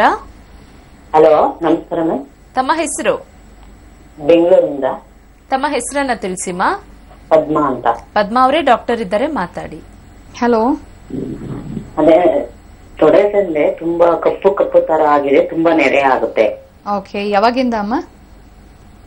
ಇದು ನಮ್ಮನೆಯವ್ರಿಗಿತ್ತು. ನಮ್ಮನೆಯವರಿಂದ ನನಗೆ ಸುಮಾರು ಒಂದು ಒಂದ್ ವಾರ ಒಂದ್ ವೀಕು ಒಂದ್ ಎರಡು ವೀಕಿಂದ ಓಕೆ ನೋಡಿ ಅಮ್ಮ, ಇದಕ್ಕೆ ನಾವು ಟೀನಿಯಾ ಅಂತ ಹೇಳ್ತೀವಿ. ಅಂದ್ರೆ ಫಂಗಲ್ ಇನ್ಫೆಕ್ಷನ್ಸ್ ಆಗಿರುತ್ತೆ. ಜನರಲಿ ಫಂಗಲ್ ಇನ್ಫೆಕ್ಷನ್ಸ್ ಏನಾಗುತ್ತೆ? ಒಬ್ಬರಿಂದ ಒಬ್ಬರಿಗೆ ಖಂಡಿತವಾಗ್ಲೂ ಹರಡತ್ತಮ್ಮ. ಸೊ ಮೊದಲನೇದಾಗಿ ಇಂಪಾರ್ಟೆಂಟ್ ಏನು ಅಂದ್ರೆ, ನಿಮ್ಮ ವಸ್ತ್ರಗಳು ಏನಿರುತ್ತೆ? ಅಂದ್ರೆ ನೀವೇನು ಉಪಯೋಗಿಸ್ತಿರ್ತೀರ ಕ್ಲಾತ್ಸ್ ಅವುಗಳನ್ನ ಸೆಪರೇಟ್ ಆಗಿ ಇಟ್ಕೊಳ್ಬೇಕಾಗತ್ತೆ. ಮೊದಲನೇದಾಗಿ. ಎರಡನೇದಾಗಿ, ನಿಮ್ಮ ಎಲ್ಲಾ ಬಟ್ಟೆಗಳನ್ನು ಬಿಸಿನೀರಲ್ಲಿ ಹಾಕ್ಬಿಟ್ಟೆ ನೀವು ವಾಶ್ ಮಾಡಿ, ತದನಂತರ ಡ್ರೈ ಮಾಡಬೇಕಾಗತ್ತೆ ಕಂಪ್ಲೀಟ್ ಆಗಿ. ತದನಂತರ ಉಪಯೋಗಿಸ್ಬೇಕಾಗತ್ತೆ. ಮೂರನೇ ಎರಡನೇದಾಗಿ ಇದು ಫಂಗಲ್ ಇನ್ಫೆಕ್ಷನ್ ಇರೋದ್ರಿಂದ ಅಮ್ಮ, ಬೇಗ ಇದು ಬೇರೆ ಬೇರೆ ಕಡೆ ಸ್ಪ್ರೆಡ್ ಆಗ್ತಾ ಹೋಗ್ತಾ ಇರುತ್ತೆ. ಸೊ ಖಂಡಿತವ, ಖಂಡಿತವಾಗ್ಲೂ ನಿಮ್ಗೆ ಒಂದೇ ವಾರದಿಂದ ಇದ್ರೂ ಇದಕ್ಕೆ ಚಿಕಿತ್ಸೆ ತೆಗೆದುಕೊಳ್ಬೇಕಾಗತ್ತೆ. ಇಲ್ಲ, ಇಲ್ದಿದ್ರೆ ಏನಾಗುತ್ತೆ, ಆ ಟೈಮಿಗೆ ನವೆ ಆಗಿರ್ಬೋದು ಅಥವಾ ಕಪ್ಪಗಾಗಿರೋದು ಸ್ವಲ್ಪ ಕಡಿಮೆ ಆಗತ್ತೆ, ಮತ್ತೆ ಪುನಃ ಸ್ಟಾರ್ಟ್ ಆಗ್ತಾ ಇರುತ್ತೆ. ಸೊ ಒಂದ್ಸತಿ ಬಂದು ನೀವು ನಮ್ಮ ಹೋಮಿಯೋಪತಿ ವೈದ್ಯರನ್ನ ಭೇಟಿ ಮಾಡಬೇಕಾಗತ್ತೆ. ಜೊತೆಗೆ ಜನರಲ್ ಹೈಜೀನ್ ತುಂಬಾ ಇಂಪಾರ್ಟೆಂಟ್ ಇರುತ್ತೆ. ಯಾಕಂದ್ರೆ ಫಂಗಲ್ ಇನ್ಫೆಕ್ಷನ್ ಇರೋದ್ರಿಂದ ಬೇಗ ಹರಡುತ್ತೆ. ಸೊ ನಿರ್ಲಕ್ಷ್ಯ ಮಾಡಕ್ ಹೋಗ್ಬೇಡಿ. ಒಂದ್ಸತಿ ಬಂದು ಮೀಟ್ ಮಾಡ್ಬೇಕಾಗತ್ತೆ ಓಕೆ ಮಾ. ಥ್ಯಾಂಕ್ಸ್ ಫಾರ್ ಕಾಲಿಂಗ್ ಡಾಕ್ಟರ್ ಏನನ್ನ ತಿಳಿಸ್ಕೊಟ್ರು ಅದನ್ನ ಫಾಲೋ ಮಾಡಿ. ವೀಕ್ಷಕರೇ ಕಾರ್ಯಕ್ರಮಕ್ಕೆ ಕರೆ ಮಾಡಬೇಕಾಗಿರುವ ಸಂಖ್ಯೆ ನಿಮ್ಮ ಟಿವಿ ಸ್ಕ್ರೀನ್ ಮೇಲೆ ಬರ್ತಾ ಇದೆ. ಕರೆ ಮಾಡಬೇಕಾದ್ರೆ ಟಿವಿ ವಾಲ್ಯೂಮ್ನ ಕಂಪ್ಲೀಟ್ಲಿ ಮ್ಯೂಟ್ ಮಾಡಿ ಯಾವುದೇ ರೀತಿ ಡಿಸ್ಟರ್ಬೆನ್ಸ್ ಇಲ್ದಿರುವಂತಹ ಪ್ಲೇಸ್ನಲ್ಲಿ ಬಂದು ಮಾತನಾಡುವಂತಹ ಪ್ರಯತ್ನವನ್ನ ಮಾಡಿ. ಮತ್ತೊಬ್ರು ಕಾಲರ್ ಇದ್ದಾರೆ. ಹಲೋ ನಮಸ್ತೆ ನಮಸ್ತೆ ತಮ್ಮ ಹೆಸರು? ಡಾಕ್ಟರ್ ಇದ್ದಾರೆ ಮಾತಾಡಿ ಸರ್ ಪ್ರಶ್ನೆಯನ್ನ ಕೇಳಿ. Hello sir TV volume completely mute ಮಾಡಿಬಿಡಿ. ಹಾ ಮೇಡಮ್ ಮಾಡಿದೀವಿ ಓಕೆ ನಿಮ್ಮ ಪ್ರಶ್ನೆಯನ್ನ ತಿಳಿಸಿ. ಹಾ ಮೇಡಮ್ ಮುಖದಲ್ಲಿ ಮಡದೆ ಇತ್ತೀಚೆಗೆ ಒಂದು ಒಂದು ತಿಂಗಳಿಂದ ಜಾಸ್ತಿ ಆಗ್ತಿದೆ ಜಾಸ್ತಿ ಆಗಿ ಮತ್ತೆ ಹೋಯ್ತೈತೆ ಮನೆಗಳು ಜಾಸ್ತಿ ಉಳ್ಕೊಂತಿದೆ ಮೇಡಮ್ ಹಲೋ ಹಾ ಹಲೋ ಮೇಡಮ್ ಅಮ್ಮ ನಿಮ್ ವಾಯ್ಸ್ ತುಂಬಾ ಕ್ಲಿಯರ್ ಕೇಳಿಸ್ತಾ ಇಲ್ಲ ಅಮ್ಮ. ನೀವೇನ್ ಹೇಳ್ತಿದ್ದೀರಲ್ಲ ಅದು ಕರೆಕ್ಟ್ ಆಗಿ ಕೇಳಿಸ್ತಾ ಇಲ್ಲ. ಮತ್ತೊಂದ್ಸತಿ ಹೇಳ್ಬೋದಾ ಅಮ್ಮ? ಹಾ ಮೇಡಮ್ ಮುಖದಲ್ಲಿ ಆಯ್ತು. ಮುಖದಲ್ಲಿ ಮೊಡವೆ ಜಾಸ್ತಿ ಆಗಿ ಕಲೆಗಳು ಜಾಸ್ತಿ ಉಳ್ಕೊಳ್ತಿದ್ವಿ ಮತ್ತೆ ಬರ್ತಾ ಹೋಗ್ತಾ ಇದೆ ಮೇಡಮ್ ಓಕೆ. ನಿಮ್ ಪೀರಿಯಡ್ಸ್ ಎಲ್ಲ ಕರೆಕ್ಟ್ ಆಗುತ್ತಾ ಅಮ್ಮ? ಬೇಗ ಬೇಗನೆ ಹಾಕ್ತೀನಿ ನಾನು. ಓಕೆ. ಸೊ ಮುಟ್ಟಿಂದ ಏನಾದ್ರೂ ಇತ್ತೀಚೆಗೆ ಏನ್ ಸಮಸ್ಯೆಗಳೇನಾಗಿಲ್ಲಲ್ಲಮ್ಮ ಪೀರಿಯಡ್ಸ್ ಅಲ್ಲಿ? ಏನು ಸಮಸ್ಯೆಗಳಿಲ್ಲ ಮೇಡಮ್ ಇತ್ತೀಚೆಗೆ ಯಾವ್ದು ಕ್ರೀಮ್ ಆಗಿರ್ಬೋದು ಸೋಪ್ ಆಯಿಂಟ್ಮೆಂಟ್ ಏನು ಚೇಂಜ್ ಮಾಡಿಲ್ಲಲ್ಲಮ್ಮ ಹಾ ಆಗ್ತಾ ಇದೀನಿ ಮೇಡಮ್ ಅಲ್ಲಮ್ಮ ಚೇಂಜ್ ಮಾಡಿದೀರಾ ಯಾವ್ದಾದ್ರು ಬದಲಾಯಿಸಿದೀರಾ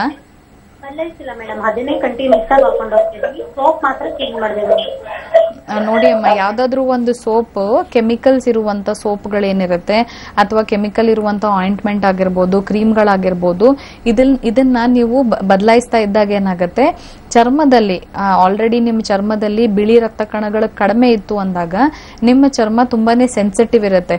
ಅಂದ್ರೆ ಅತಿ ಸೂಕ್ಷ್ಮವಾಗಿ ಕೆಲಸವನ್ನ ಮಾಡ್ತಾ ಇರುತ್ತೆ.